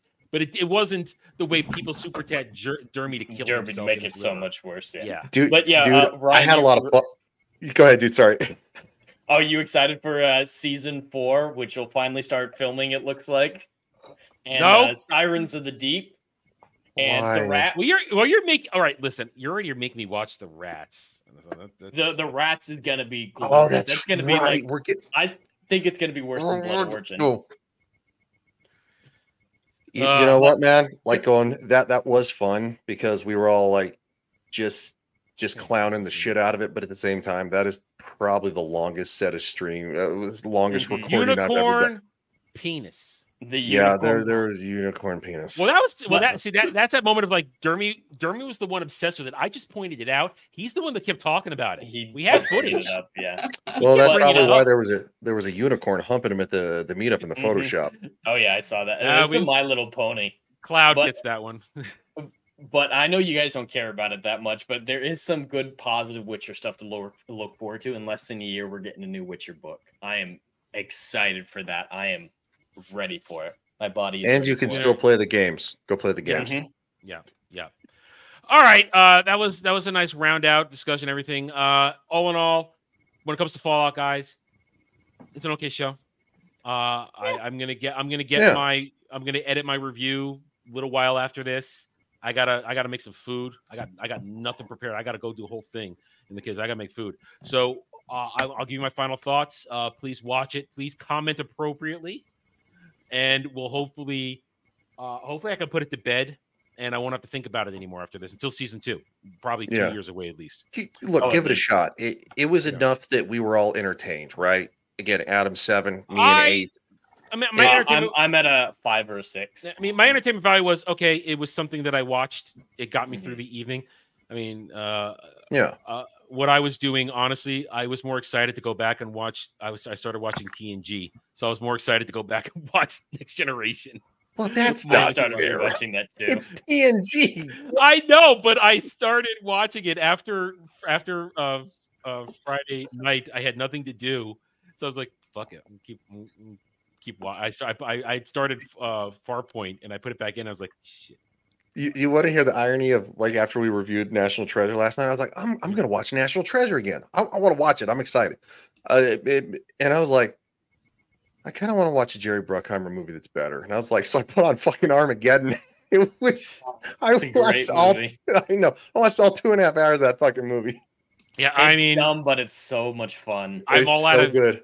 I'm all out of anime at the moment because I finished last season's stuff. So I was like, "Gee, what can I watch?" And I just looked over and said, "Motherfucker, I'm gonna watch TNG. It's right there." And, and I just put it. And I'm So I'm. I'm I'm having You such a good time. You I'm should having such rewatch NCIS. I just rewatched I it. can't do All it. three of us need to rewatch up to uh, Tony's departure. We'll call that the show.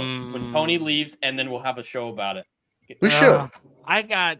mm, I just did it, man. Maybe Eh, later, maybe we'll- later, We'll, we'll maybe do up to Tony's departure, and then you have to watch when. Well, I can watch it all in my head right now. I can When do it right eh, now. you got to watch the episode where Abby leaves, the episode where Gibbs leaves, the Ducky, Mm. like just the the cherry picked episodes after Tony leaves. Look, if y'all y'all want to set this up like maybe a year in the Ah, future, so like get because again that's, a- that's a lot of content, right? You know, 'cause Yeah, we're, yeah, we're it takes a talking about while. yeah. So not I mean, uh, oh- I'm all for it. We can't pull a uh, what you call a a uh, Star Trek stream like you guys do and go. We're not. Yeah, take that's the rest that's of our not lives. happening. That's not happening. Twenty three Yeah. seasons either way. No. Uh, no, that would be no. no. good lord. Yeah, and yeah. it- I- Yeah, Again, gonna- incredible, incredible show for Yeah. for It would uh, just take but too long. Yeah. yeah, yeah, and- we'd yeah, be, uh, be either way, skewed. there's still a lot of good shit out there to watch, and that's why physical physical media is important. I could grab anything off that shelf and watch it, and that's what I did because I could and I wanted to. except for National Treasure, apparently, bitch. Cry me a river. All right? Cry me a river. You- Anyway, all right, guys. You gotta watch the second one. Uh, well, hey, Gotta be on my we, hey, listen. Yeah, every it's time we so start a franchise, it opens the door to come back to it. Listen, Mhm. we've started Lethal Weapon, we've started all kinds of stuff on Drive-In, and we just come back to it. Oh, the only time we do something repeated is when we did Lord of the Rings. We did that back to back for obvious reasons, or when we do Star Wars, because this, like, like I said, this in May. Uh, once Jed gets back uh, after the first week in May, we're gonna do prequel trilogy all the way up to Star Wars Day. So we're, we're nailing it. We're gonna have fun Are with we it. doing Either the way, Clone Wars movie? uh, no, that can go suck a dick. Um, It's so not bad. great. It's not really great. bad. no, it's not. Anyway, all right, guys, we're done here. We are very over time as normal, but we didn't have anywhere else to go, so it was fine. Let's go around the horn, say our our pimp, our stuff, and uh, then I'm gonna make a big ziti. So, Jed, what you got going on this week? Um, I am so busy with book stuff that the only thing I do this week on my channel might be Saturday Night Drive-In for the fourth week in a row. Uh, legitimately, the last three items on my channel are all Saturday Night Drive-In. I'm gonna try to get back to my channel at some point, but book stuff is just insane right now. So Yeah. you can tune into Saturday Night Drive-In on my show and Adams. He'll talk about that at the end, I'm sure. But you can find me at YouTube and Kick Hollywood Scholar when I get around to doing anything. And I know uh, I mentioned it kind of in the midst of everything, but while um, you both uh, rated Fallout as of right now, Fallout's a five or a 6 Mhm. for me. So I'm definitely lower than the rest of you guys. And Writer's Corner, someday it was never really a regular thing. I've only Yeah, done four episodes in three years. So It's it's kind of like a a, a- a quarterly thing almost. It's and and Yeah. we need to and we need to have a thing to talk about and and give people We- time to actually do some writing. Yeah, and because because I barely got anything done for as I promised I would. So either way, all right. So, uh, Ryan, what you got coming out this week? Oh, so tomorrow night we're going to be doing House of the Dragon, uh, season one, episode number three, I believe, review. Um, doing it kind of like that Star Trek style. Um, what can I say? I I I dabble in pissing YouTube off, which I'm fine with. Um, yeah, like uh, and we're we're hard charging towards uh House of the Dragon season two, so it's um we're we're gonna be real methodical about House of the Dragon, all of us. Um, you know, so catch that there. Um, I might try to squeeze in some Fallout streams because I'm I'm I'm all of a sudden jonesing Itch. again for some Fallout. I got the itch. Yeah. Um, I'm not sure. I, I'm actually thinking about replaying Fallout One, which it's been so damn long. It's going to Hey, be. it's retro. You might get it's going to be very traction with the comical. retro. Yeah. Also, at the same time, it seems to work on my my you know my RTX uh, freaking computer to where Fallout Three I can't get to work worth dick. So I don't understand. But um, so yeah, uh, sh- and then uh, Friday night's Royal Rumble, um, and um, shit, you know, just um, I, I pop up here and there, and uh, uh, Ariel, I don't want to read Fallout Equestria. That sounds awful. No horse Ariel, no horseplay. No horseplay. No horseplay. That sounds terrible. Dragon Lady. Got anything coming up this week? Um, been simming. Um, just basically simming, really. Um, possible. If the EA app's working. Other than that, um, not a lot really. Excuse me. All right. As for myself, uh, uh, let's see. Tonight, nothing on the schedule tonight because everybody's still getting back from Vegas. Although I think next next week is when Devil's going to restart Get Ranked. I'm supposed to be on that one. Uh, the next one was Wrestling uh, Faces.